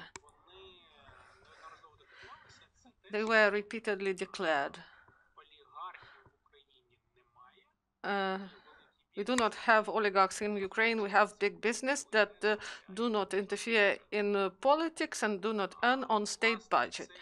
So this is the aim of maybe any anti-monopoly legislation. So the monopoly, if it exists, it should not abuse uh, the law and uh, the aim of this law is not to make rich poor or to take control over some flows of money or to replace oligarchs, but to create conditions uh, for oligarchs in order that they won't be able to influence politics to get profit. So this is the law on oligarchs and uh, Ukrainian oligarchs differ from foreign oligarchs. They do not sign documents, they do not take any official decisions, and the law enforcement system cannot deal with them properly. They cannot carry out some investigative activities. They are under shield and uh, they have offshore shell companies to protect themselves. So this is the law on oligarchs. This is the first law that provides incentives to get rid of this oligarch status. It creates поточний статус-кво ключових олігархів в країні.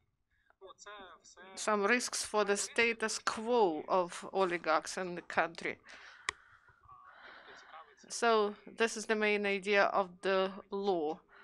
And uh, this is one of not many laws that have uh, the article concerning this law in Wikipedia. So this information is available to the public. Uh, so oligarchs, they believe they are big business. And what about the number of the oligarchs? How many of them do we have? Maybe drug uh, barons also believe they are big business. I do not know how many oligarchs we have. Uh, we have mechanisms for this that are envisaged by law.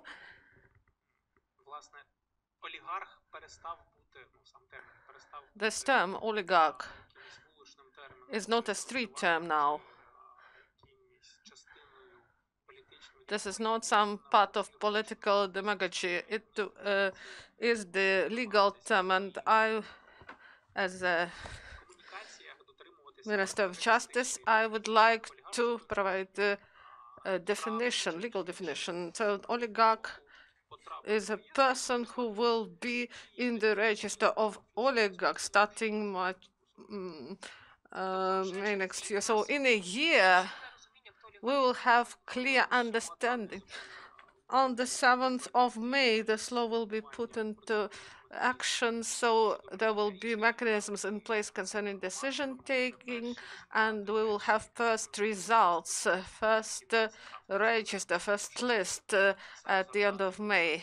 If everything goes in accordance with the plan, we won't introduce changes to the law. I would like to remind you that in December there will be decision of the Venice Commission on this law, and uh, evidently there will be some filing of cases to Constitutional Court. Uh, they will try to block the implementation of this law. So we have our plans and we will see what will be next. Now we go to the so uh, Mr. Minister provided information about law enforcement bodies that it is difficult to deal with oligarchs. Whether it is the case and is it possible whether law enforcement bodies be able to bring oligarchs to responsibility or to somehow harm their illegal activities or whether they carry out some illegal activities. Uh, good afternoon. Thank you very much for your question. This is the case. Persons who may be considered oligarchs, they are well protected by different means, starting from physical ones, technical ones, legal ones, and uh, it's evident that all the cases, all proceedings concerning oligarchs, they are really difficult concerning investigation of these cases because they are really complicated, multi-stage actions are taken that bring criminal results and a lot of people are involved. There are connections in power and they counteract actively this investigation and I would like to say that NABU as a body is dealing with cases that are connected with the persons that may be identified as oligarchs or those who protect their interests. And we deal with these cases for a long time. And there are cases, uh, the case, one of the first resonance case that was brought to court. This is the case of director of Zaporizhia uh, Titan Magnesium uh, plant and also private bank case that we investigate. Also resonance case is Rotterdam Plus case. Also the case of uh, Samara uh, western direction. Uh, sorry, I will interrupt you. So Firtash case and the Privat Bank, this is Kolomoisky case, uh, Samara case, pipeline, this is Medvedchuk. What else? Rotterdam plus, this is Akhmetov. And we may also remember the cases concerning Bogdan Automobile Corporation. This is Petro Poroshenko. So I believe that the majority of persons who may be considered oligarchs, they are covered by our work. This work is done on a continuous basis. The number of cases that I've mentioned, they are considered in courts and also charges were given and the cases now are moving forward and uh,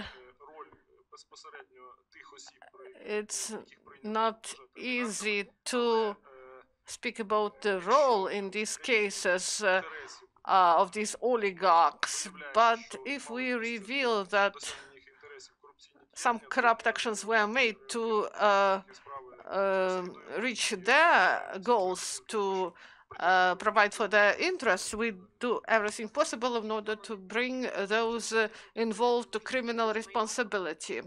Uh, this is not only about criminal responsibility for people, but uh, you may also arrest or uh, confiscate some assets. Of course, in all the cases where we identified losses, we arrest the property in accordance with the Constitutional Court decision. We also could file the cases concerning the uh, contracts to, um, but we were deprived of this right. About confiscation, it is possible only uh, by the decision of the court, and uh, uh, we want to arrest the property in order not to lose it. And we hope that based on the uh, court hearings, this uh, asset will be confiscated to the benefit of the state. But this pipeline was arrested and now it is um, managed by the state. It is under the agency of asset management and it provided to Ukrtrans Nafta Enterprise. This is a real result of the work. Thank you, Andrei. Uh, and uh, we've mentioned Rotterdam Plus case. This is a NABU case. And in this case, Liga Antitrust is involved, and uh, Anti-Corruption Action Center is also trying to uh, help in this case to bring this case to court to be heard. And uh, uh, Mr. Minister said about anti-monopoly committee, and uh, he only remembered it, but uh, everyone speaks about anti-monopoly uh, committee. What should be the role of this body? Does it implement its functions concerning the oligarchization and what should be improved in this work? Thank you very much. Good afternoon. Politiki understood clearly uh, that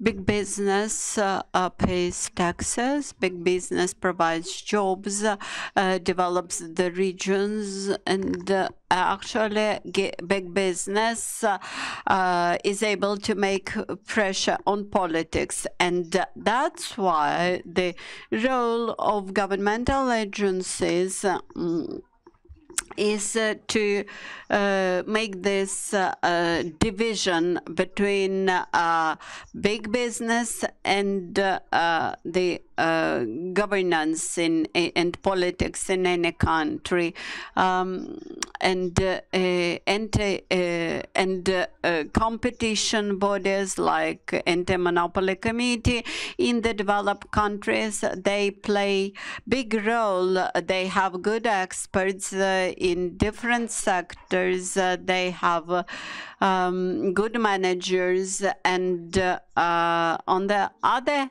hand, they set uh, clear rules of the game. Uh, on the other hand, they are subject to uh, uh, strict selection. They are uh, selected for um, limited uh, term in office and they are subject to very strict rules both for appointment and dismissal.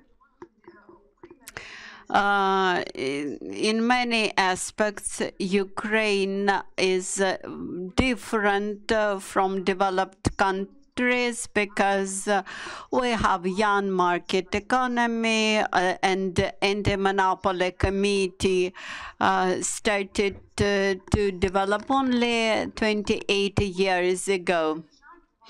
And uh, mm, even now, many politicians and the public at large do not clearly understand what is the um, public role of the anti-monopoly committee, but this role is quite clearly understood by the um, big businesses and uh,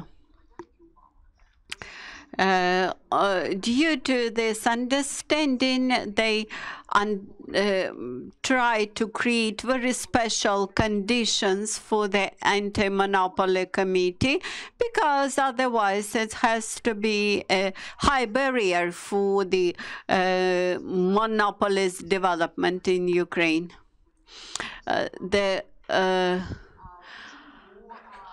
we saw a long story how the leadership of the mm, anti-monopoly committee first had to be uh, appointed by the parliament, then by the president, uh, uh, then um, how the notion of the criminal offense, uh, anti-monopoly criminal offense was um, mm, determined in legislation, etc.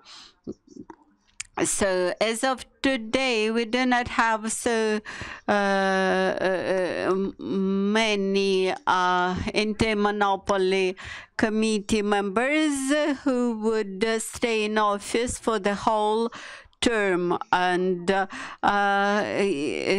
quite uh, if you uh, I uh, I'm uh, see decisions are uh, sued to court and mm,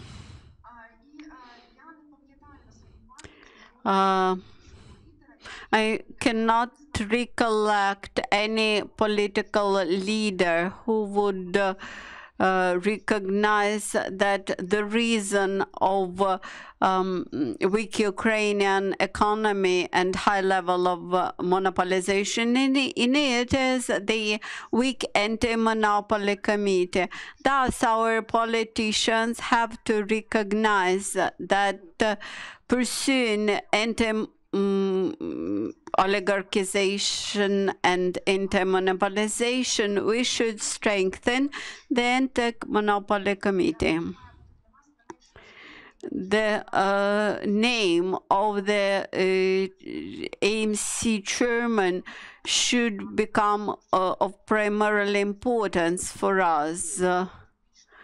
We uh, should require that uh, AMC uh, chairman, uh, chairperson should be appointed after careful scrutiny and uh, that um, the employees of that uh, body should be um, also subject of uh, public attention.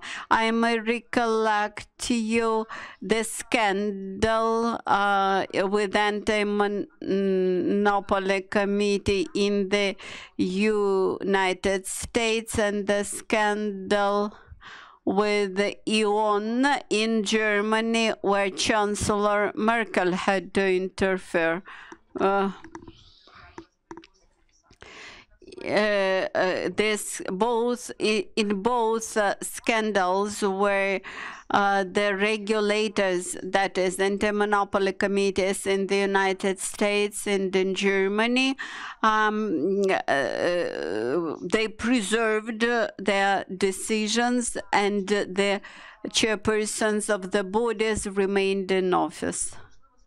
We have to strengthen the powers of the committee. We have to strengthen its activity. We have to allocate more money for OMC because they drastically lack money for expertise. Uh, we should involve more consumers to OMC. We have to create a separate court chamber who would review the MC chambers, but all that improvements uh, um, would uh, uh, change the situation without uh, um, change of overall political approach to the AMC.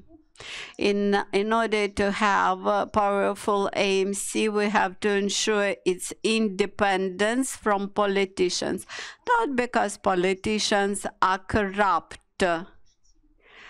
but because they um, uh, interact with big, big businesses and they have quite different objectives than AMC. Uh, uh, we have to prevent creation of huge market uh, uh, giants, that is, companies having a big market share. Mm, that is it in brief. Uh, thank you. uh, you pointed out the to the main um, points of tension. You mentioned about courts uh, and uh, that uh, AMC decisions were sued to court and that decisions were repealed actually. Mm, uh, we, we having created a strong AMC, may we expect that its decisions would uh, uh, become irrevocable in courts?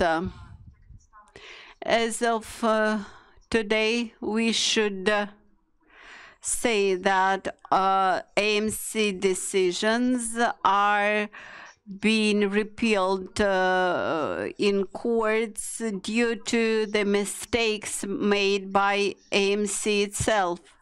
The second is that all the courts uh, they do not exist in vacuum they rely on the general um, uh, reputation of the bodies that is, if uh, AMC becomes strong, its decisions uh, um, may become more uh, well grounded and more reputable, so to say. We also have to create special chambers and courts dealing with the uh, AMC cases. Why we need them? Because they have to take into account huge uh, um, bulk of economic information, while ordinary judges are not uh, able to um, to do this. That is, we have to produce specialized judges in anti-monopoly cases and uh, they should have a very specific approach to to these economic cases. Later, we will invite the minister to um, refer um, and provide feedback about the idea of special anti-monopoly courts. Now, I would like to invite Eka Tkeshelashvili, chief of party at the USAID SACCI program. This is anti-corruption project from USAID, uh, and uh, before that, Eka was a chairperson in the uh European anti-corruption initiative. Uh, now, my question to you, Eka. Today, we mentioned the the audit the, or the opinion from the European Chamber of Accounts, which emphasized the need for European uh, support to Ukraine.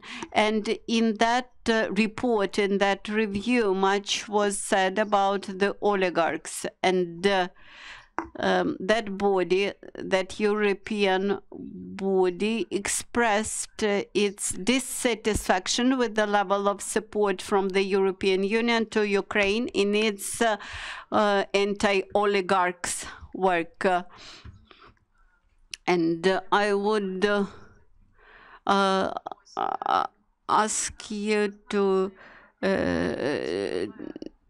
to speak more about de-oligarchization uh, and uh, uh, where does the counteraction to corruption become the counteraction to oligarchs? So my question to you uh, uh, to uh, review that audit or um, report uh, and uh, to suggest what international partners could offer to Ukraine in support of the anti-oligarch and anti-corruption work. Thank you.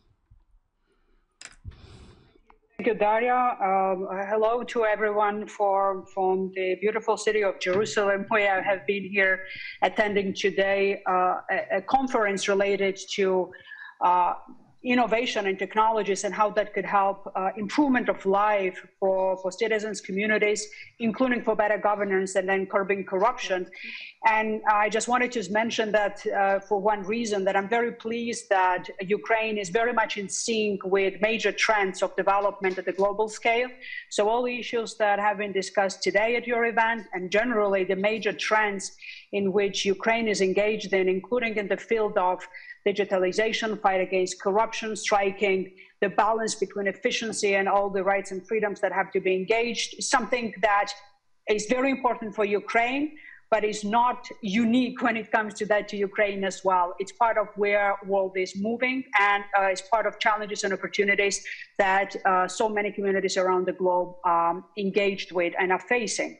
Now, when it comes to this particular question, I guess part of uh, what um, is not frequently mentioned when we speak about the oligarchization is the core of the importance of that process from the point of view of a citizen of an individual and members of the communities. It's not uh, something that uh, needs to be looked primarily through the lens of international community or through the lens of government or even more so through the lens of uh, who potentially could be themselves uh, defined as uh, oligarchs, but how citizens of Ukraine and public of Ukraine looks into that and how they understand that it's not only an issue that relates to uh, moral underpinnings of the free societies in a democracy and is a top priority in so many ways when it comes to a fight against corruption for the society in Ukraine. But the tangible effect of success of this fight that it might can have for every everybody in Ukraine, especially for those who are disadvantaged the most when it comes to the level of life, economic potential, and realization of those potential currently in Ukraine. Uh, in other words, if Ukraine, and I'm convinced that Ukraine will be uh, successful in this direction, will be successful in bringing uh, up the system that is fair and just and provides a level play field for all, irrespective of who you are as an individual or how big you are as a business and how influential you could be on the market or on the political life in conjunction to that uh, in, in, in Ukraine, you have the same rules that I apply to everybody. That market is competitive, it's open, and it provides ground for creativity and opportunity for people to thrive. And when it comes to the basic services that need to be provided for realization of basic rights, when it comes to you know, electricity, heating systems, normalcy of the social life, when it comes to how we all would see in the, the, the developed, uh, not only developed, but developing countries on the trajectory of good development should be, how that is affected with the way if markets, if the rule-based societies are distorted or not in the way how rules are operating, whether or not anybody has a special status in a country and how that could be changed. In other words, a bit of demystification of the, the oligarchization of Ukraine, I think, is needed so that we break it down to different clusters and building blocks of what that pathway of Ukraine means for the country, for the government, for the society and individuals. And when you look at that from that perspective, you understand how complex this process is, but you understand that it's doable as well at the same time, so that if the plan is combined with the commitment of the government and the commitment of the society to be resilient and persistent in this direction, then there are all grounds to believe that one can be successful into that. You asked me about um, uh, what international community could do more for that fight to be successful and whether or not it was sufficient. Uh, I can tell with full confidence that uh, European Union, and I can say with full confidence that the United States government have full commitment to help Ukraine uh, to be successful in this fight and to provide all it takes as much as Ukraine asks for that assistance. I'm not here speaking on behalf of any of the governments or organizations, but I'm, I'm in the shoes of an implementer, so to say, who is tasked to do that job and who is tasked to provide that assistance. And this commitment is there. So more clarity is from the Ukrainian side as well, how fight can go in this direction more assistance is provided, and then more assistance is successful in this direction. We talked about uh, competitiveness of the markets, which is extremely important. There was a lot that has been mentioned on the Monopoly Committee, and I will not repeat that. But there are very important elements into the plan that government recently appro- approved as a continuation of adoption of this law. And here we, we, we have very important directions in which further action needs to be done for that fight to be a meaningful uh, one that could actually deliver.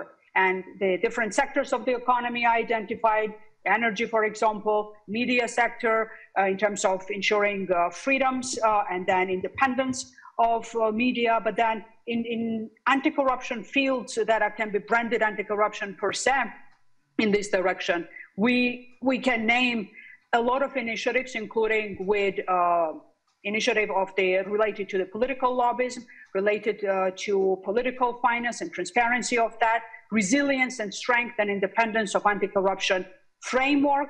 And I would want to add that when it comes to the guiding principles that relates to how anti-corruption measures can amplify reforms in the sectors that can promote openness of the markets and level play field of the market, then the anti-corruption strategy that is uh, awaiting for consideration and adoption of the parliament with the second hearing provides very good uh, guidance and concrete commitments that could certainly not only contribute, but then could uh, ensure that the anti-corruption reforms uh, actually serve that purpose of amplifying and ensuring that all the sectoral reforms are successful and they are based on the principles of transparency and accountability. And with that provide more efficiency and effectiveness of how they could deliver in shorter period of time rather than only in the long term at the end of the day. And final word, I would say that at times it is taken for granted that in Ukraine civil society is very strong, very vibrant, as if you know you guys can do your job and then nothing more is needed to help and support you.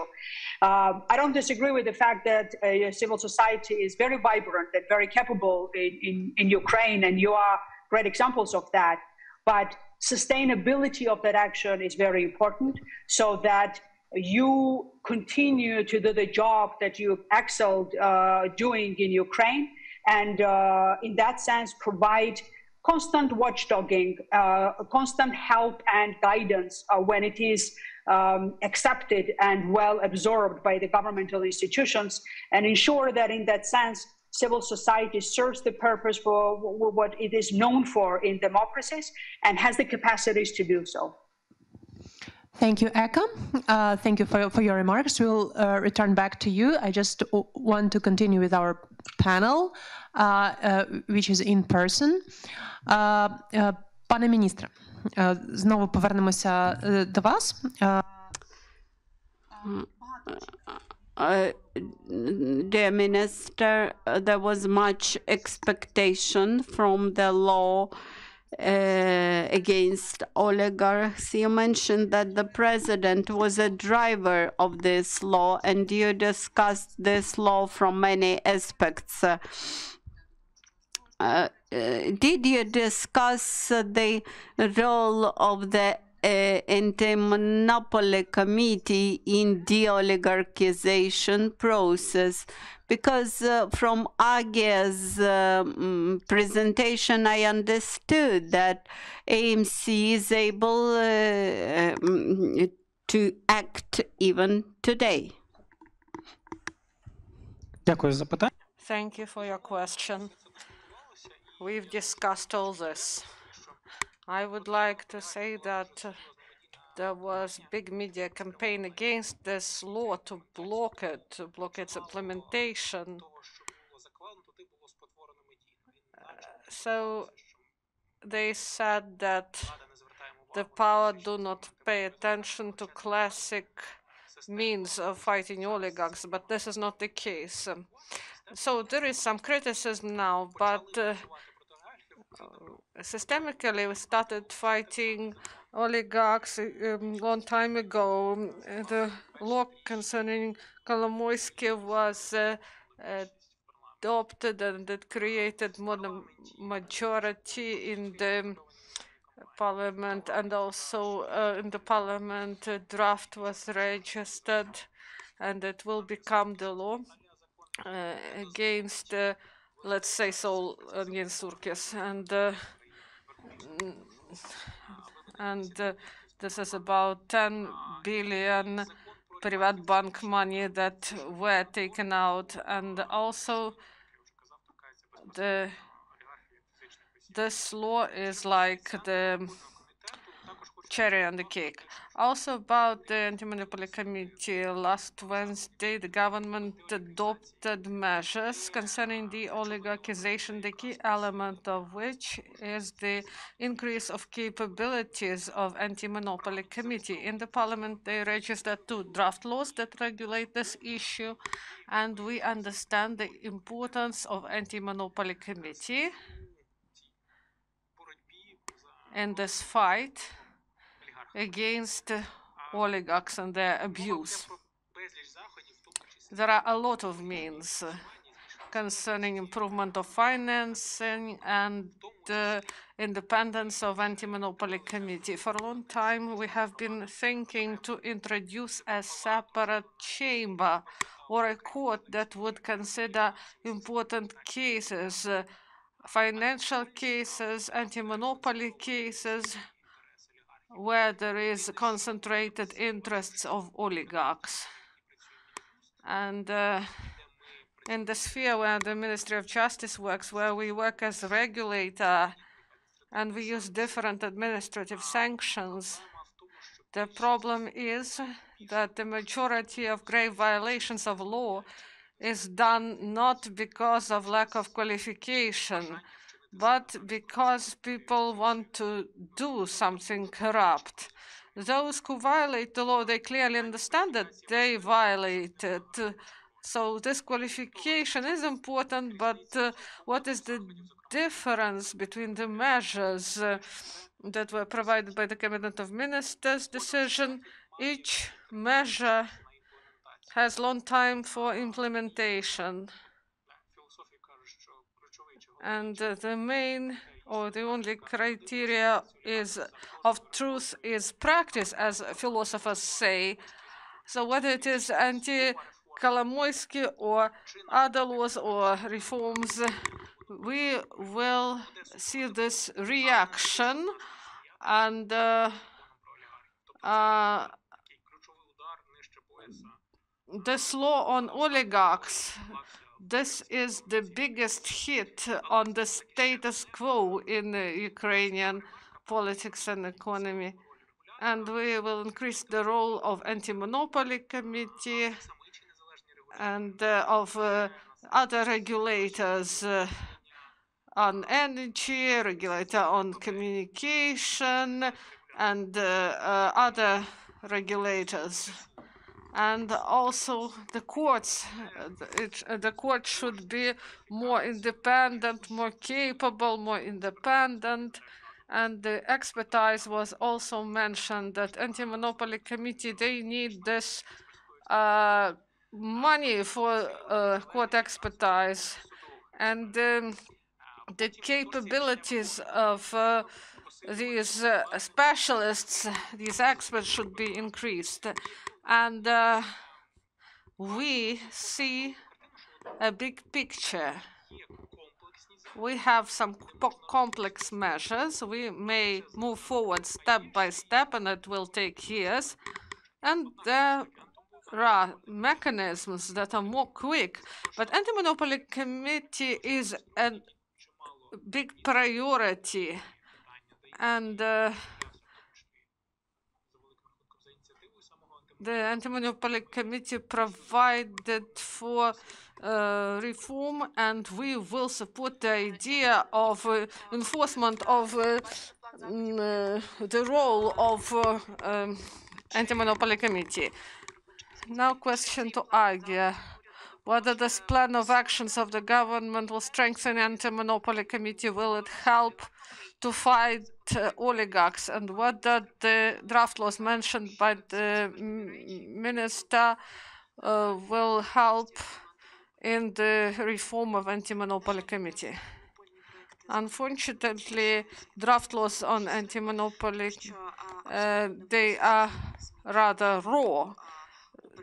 The selection procedure remains the same and the procedure of hiring and firing of these uh, officials. Uh, this should provide uh, uh, for uh, so this procedure remains non-transparent and um, the grounds for firing remains the same and uh, it allows to fire uh, these members of the committee uh, because of some subjective uh, uh, decisions and there were some cases of this and those changes that uh, are proposed, they do not touch these topics. Also, the Anti-Monopoly Committee depends on the politicians and the head of the Anti-Monopoly Committee.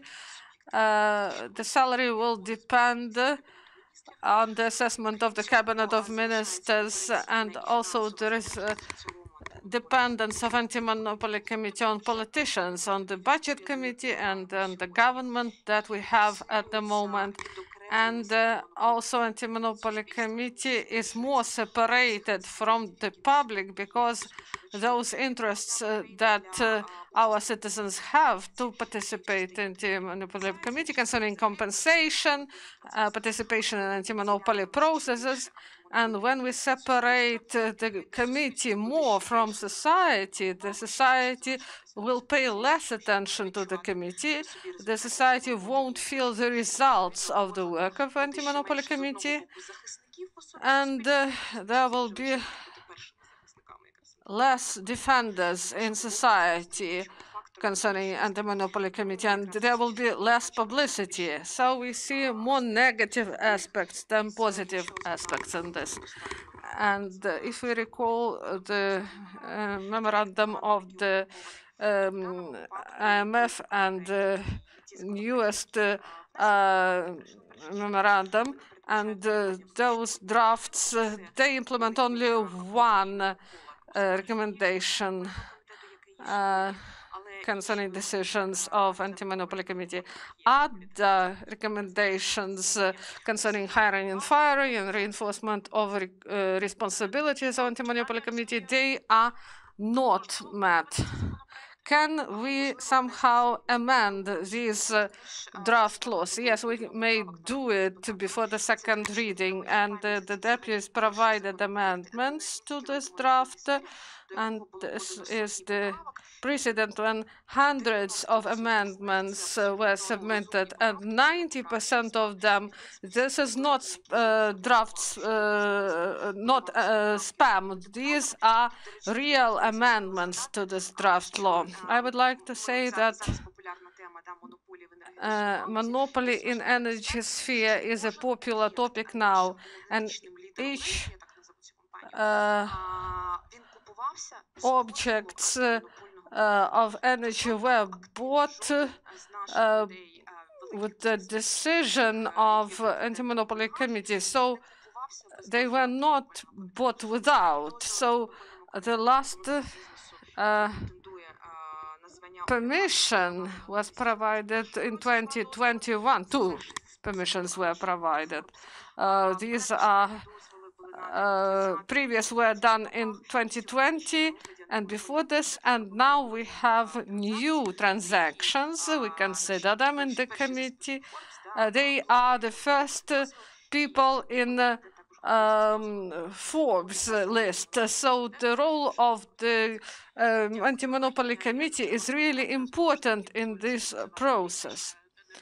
So energy monopoly, uh, this is Rinat Akhmetov, and he controls uh, uh, um, coal industry and uh, electrical power plants, they were um, privatized by him with the permission of anti-monopoly committee. We have all copies of the decisions and we have all decisions of the anti-monopoly committee and um, starting the second president of Ukraine and uh, uh, concerning all the decisions, we have didn't have any bans uh, and uh, uh, in times of fifth president and sixth president. Uh, there were some bans when there were some people uh, uh, who were under sanctions. Then we banned some transactions, but uh, in other transactions we provided permission. Uh, so when we speak about independence of anti-monopoly committee and there should be proper guarantees of independence, um, do you work in anti-corruption agency and these guarantees were provided and uh, we may compare these guarantees. Uh, do they help? I mean, these guarantees, what are the main guarantees? What are more important, what are less important? Thank you for your question. Yes, I believe that they really help, they really protect us. Maybe you remember about the number of attempts to fire the head of the bureau, and uh, in the result, they were not successful. And uh, this is due to the mechanisms provided by the law, these guarantees uh, that prevented this biased uh, uh, attempt of uh, firing. So these guarantees are really important. They provide the opportunity to do your work independently from interference of others. And uh, maybe you know that we have a delayed process of selection of the head of specialized prosecutor's office, and this demonstrates that in this case, the guarantees are not enough and mechanisms are not really good. And for a year, we are working with prosecutor's office without the head of this agency. So the guarantees in SAPO are not properly adhered to, and we are waiting till the end of this contest in order to have this head of this institution in place. One more question to you. Uh, so if you're thinking about uh, five years ahead, so what should be the strategy of Ukraine in fighting oligarchs? You are a person who is working in a National Anti-Corruption Bureau. What are three priorities for Ukraine, what should be done in order to have real demonopolization and de-oligarchization in Ukraine. I think this is my subjective view as a worker in this body, I would like to say that we should provide guarantees of independence and the institutional capability of NABU, SAPO, and High Anti-Corruption Court also, I believe that we should complete the reform of the courts. We face this situation regularly.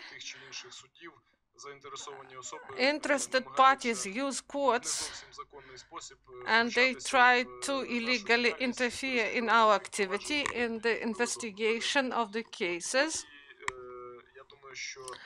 And uh, the state regulators, they also should have uh, plus minus the same guarantees of independence that would provide them opportunity to carry out their functions appropriately. Thank you. I have a question to Eka. Please, are you with us? Please. Um, Brian Bourne was not able to join us, uh, and in this uh, law, we should not forget about the media. Uh, а, говорити мені українською, добре. Я буду говорити українською. Okay, you were speaking a lot about necessity to have this request of citizens for change, that citizens should understand what oligarchization means. And uh, our citizens, they usually consume information from the sources that belong to oligarchs. We are speaking about national television.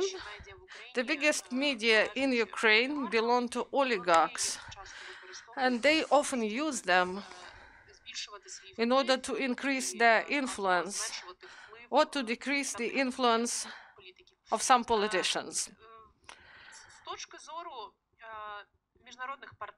If you're speaking about um, international partners, how can the uh, projects of international assistance uh, provide for uh, independence of the media and to increase the number of journalist investigations. I know that the European Anti-Corruption Initiative supported investigative journalists, and uh, uh, during previous panel we heard that in the regions there are not many investigative journalists. Uh, workshops and trainings do not work, and uh, it is difficult to provide these independent media outlets uh, in the regions. It takes a lot of time. Наші гроші Lvi- Lviv news outlet, they said that it takes a long time, about three years, to establish such centers in the region. So how can we stimulate these uh, media in the regions to uh, provide for this uh, issue concerning oligarchs and how to deal with them? To your question, um, to begin with, uh, I would mention that when we talk about raising public awareness and with that, they support to sometimes painful reforms that have to be undertaken, is that it needs to be very creative and multifaceted. It needs to be a combination of both positive stories that are well resonating with the people so that they understand that the change is possible in the country and it is being delivered. And it needs to be uh, having a critical element of it as well so that all that needs to be changed even more uh, and is not changed yet uh, is put on light so that there is an understanding of what needs to be changed uh, more. But beyond that, when we talk about uh, you know, oligarchic influences in the country and impact of that on economy, on everyday life of the citizens, that needs breakdown in a simplistic way to the people. And by simplistic, I mean in a positive way. ABCs of what it means for everyday life of a human being living in that condition. So if you pay for your electricity, if you pay for your heating systems, if your child goes to the school or university, how all of that is affected, and for an elder, in terms of right to have, not the right, but possibility of uh, having a free space for entrepreneurial activities without overshadowing of the big guys. What, what is the impact of all of that that needs to be part of that process that will deliver better life in this regard? And I agree that investigative journalism is, is, is a very significant component of that.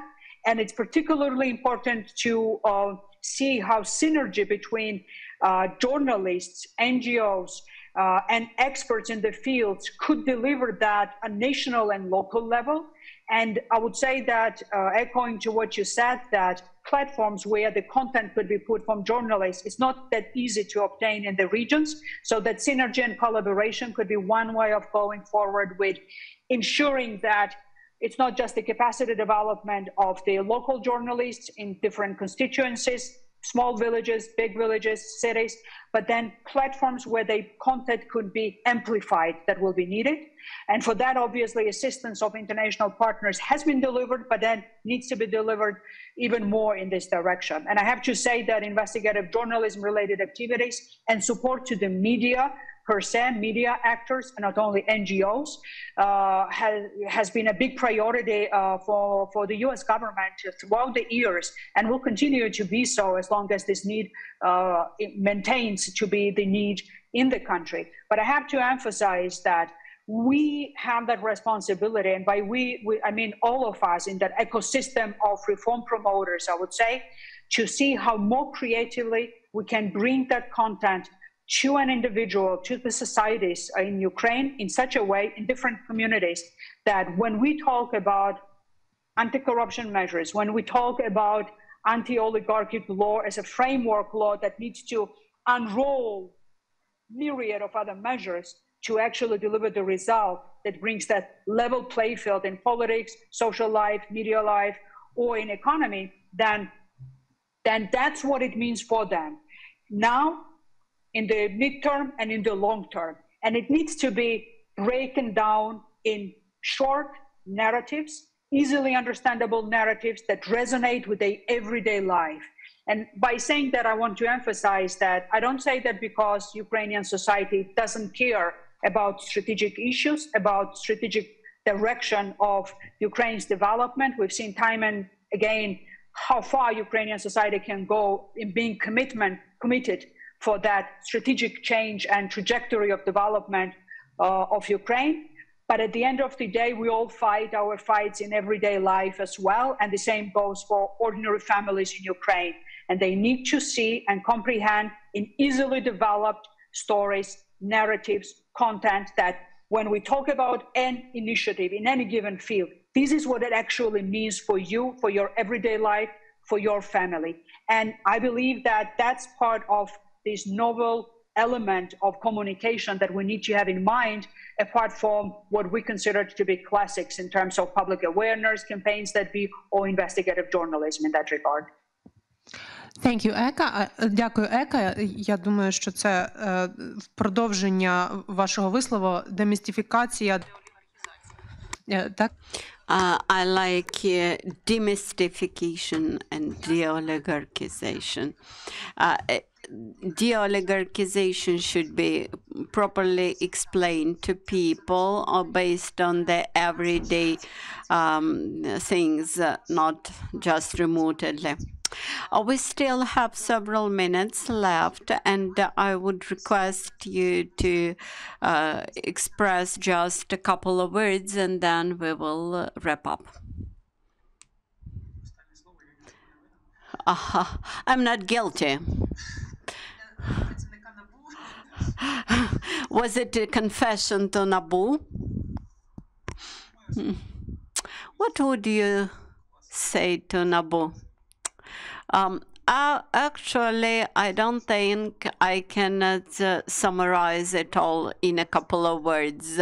What I would like to do, I would like to wish us all to work together. Mm.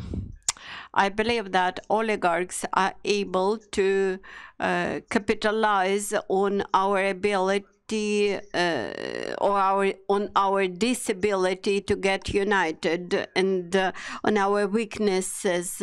And uh, i would encourage everybody to become stronger and to get united. Uh, super. Thank you. I believe that many experts from the ngo would agree with you. Mm, andrei uh, in NABU, we clearly understand uh, how strong, uh, how strongly the oligarchs' impact uh, hampers Ukrainian development and how it uh, prevents uh, the rule of law in Ukraine.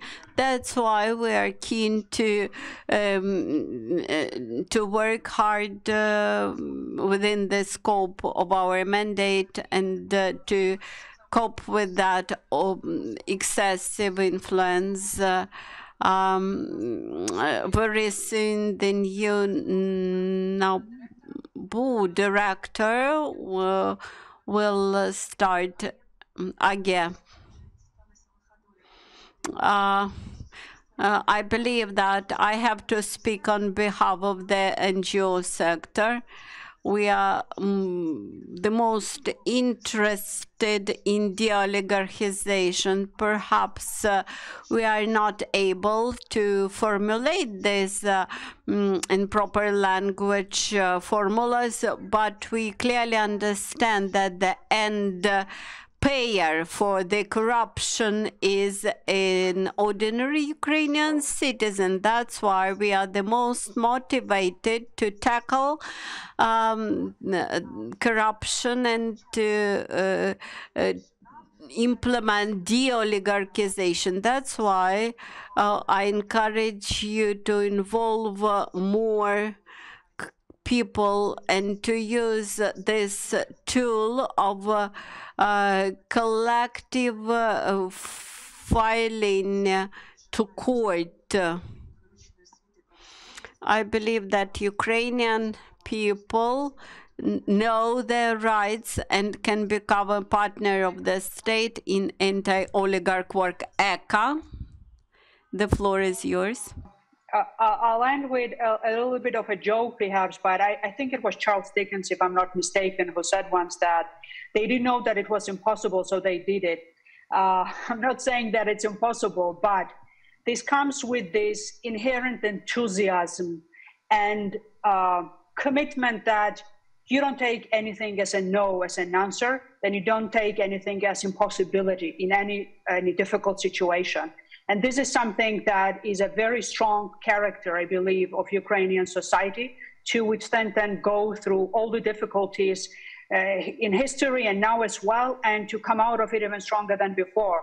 And I think that this is the time for us all to believe that this is what is the core when it comes to going through that difficult process. Because at the end of the day, we're not talking about surviving, we're talking about thriving as a future for Ukraine. And that's only can be achieved if that enthusiasm, even sometimes naivete, but strong commitment and enthusiasm of saying, taking everything as a possible rather than impossible is something that is needed. It's not very technical expert description that I gave you at the end of the day, but I think this is something that sometimes is overlooked and is quite a bit needed when it comes to self-assurance of for the future. Дякую, Ека. Е, Дякую е, панелістам всім. Е, На цьому Thank you to all the panelists. Let's uh, um, uh, wrap up. Now, I would like to summarize just in few words. Um, now, uh, eight years of uh, seven years after the revolution of dignity, we understood that our um, theory of change uh, had worked and uh, we have created uh, NABU, uh, SAP, uh, anti-corruption court, and understood that the main procedure is uh, uh, main procedure is a selection procedure. Very soon we will launch the um, judiciary reform, where uh, again selection process. Uh, will be monitored uh, by proper watchdogs.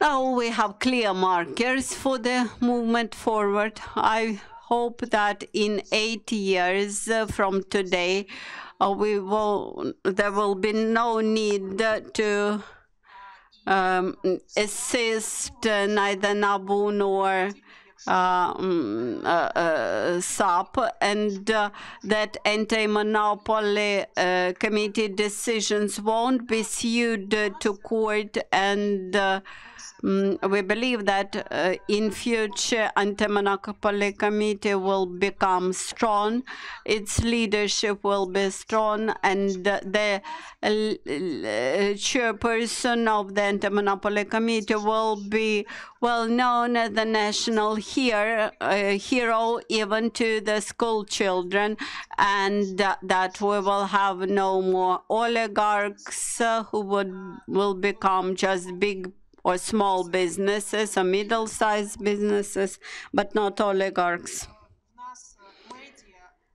That in seven, eight years, uh, mass media will become truly independent and uh, people would not be tortured with the propaganda while uh, people would be able to defend uh, their interests and course and uh, uh, keeping in mind what uh, Minister of Digitalization said that we will we are dreaming that we will become even more digitalized than Estonia. Thank you.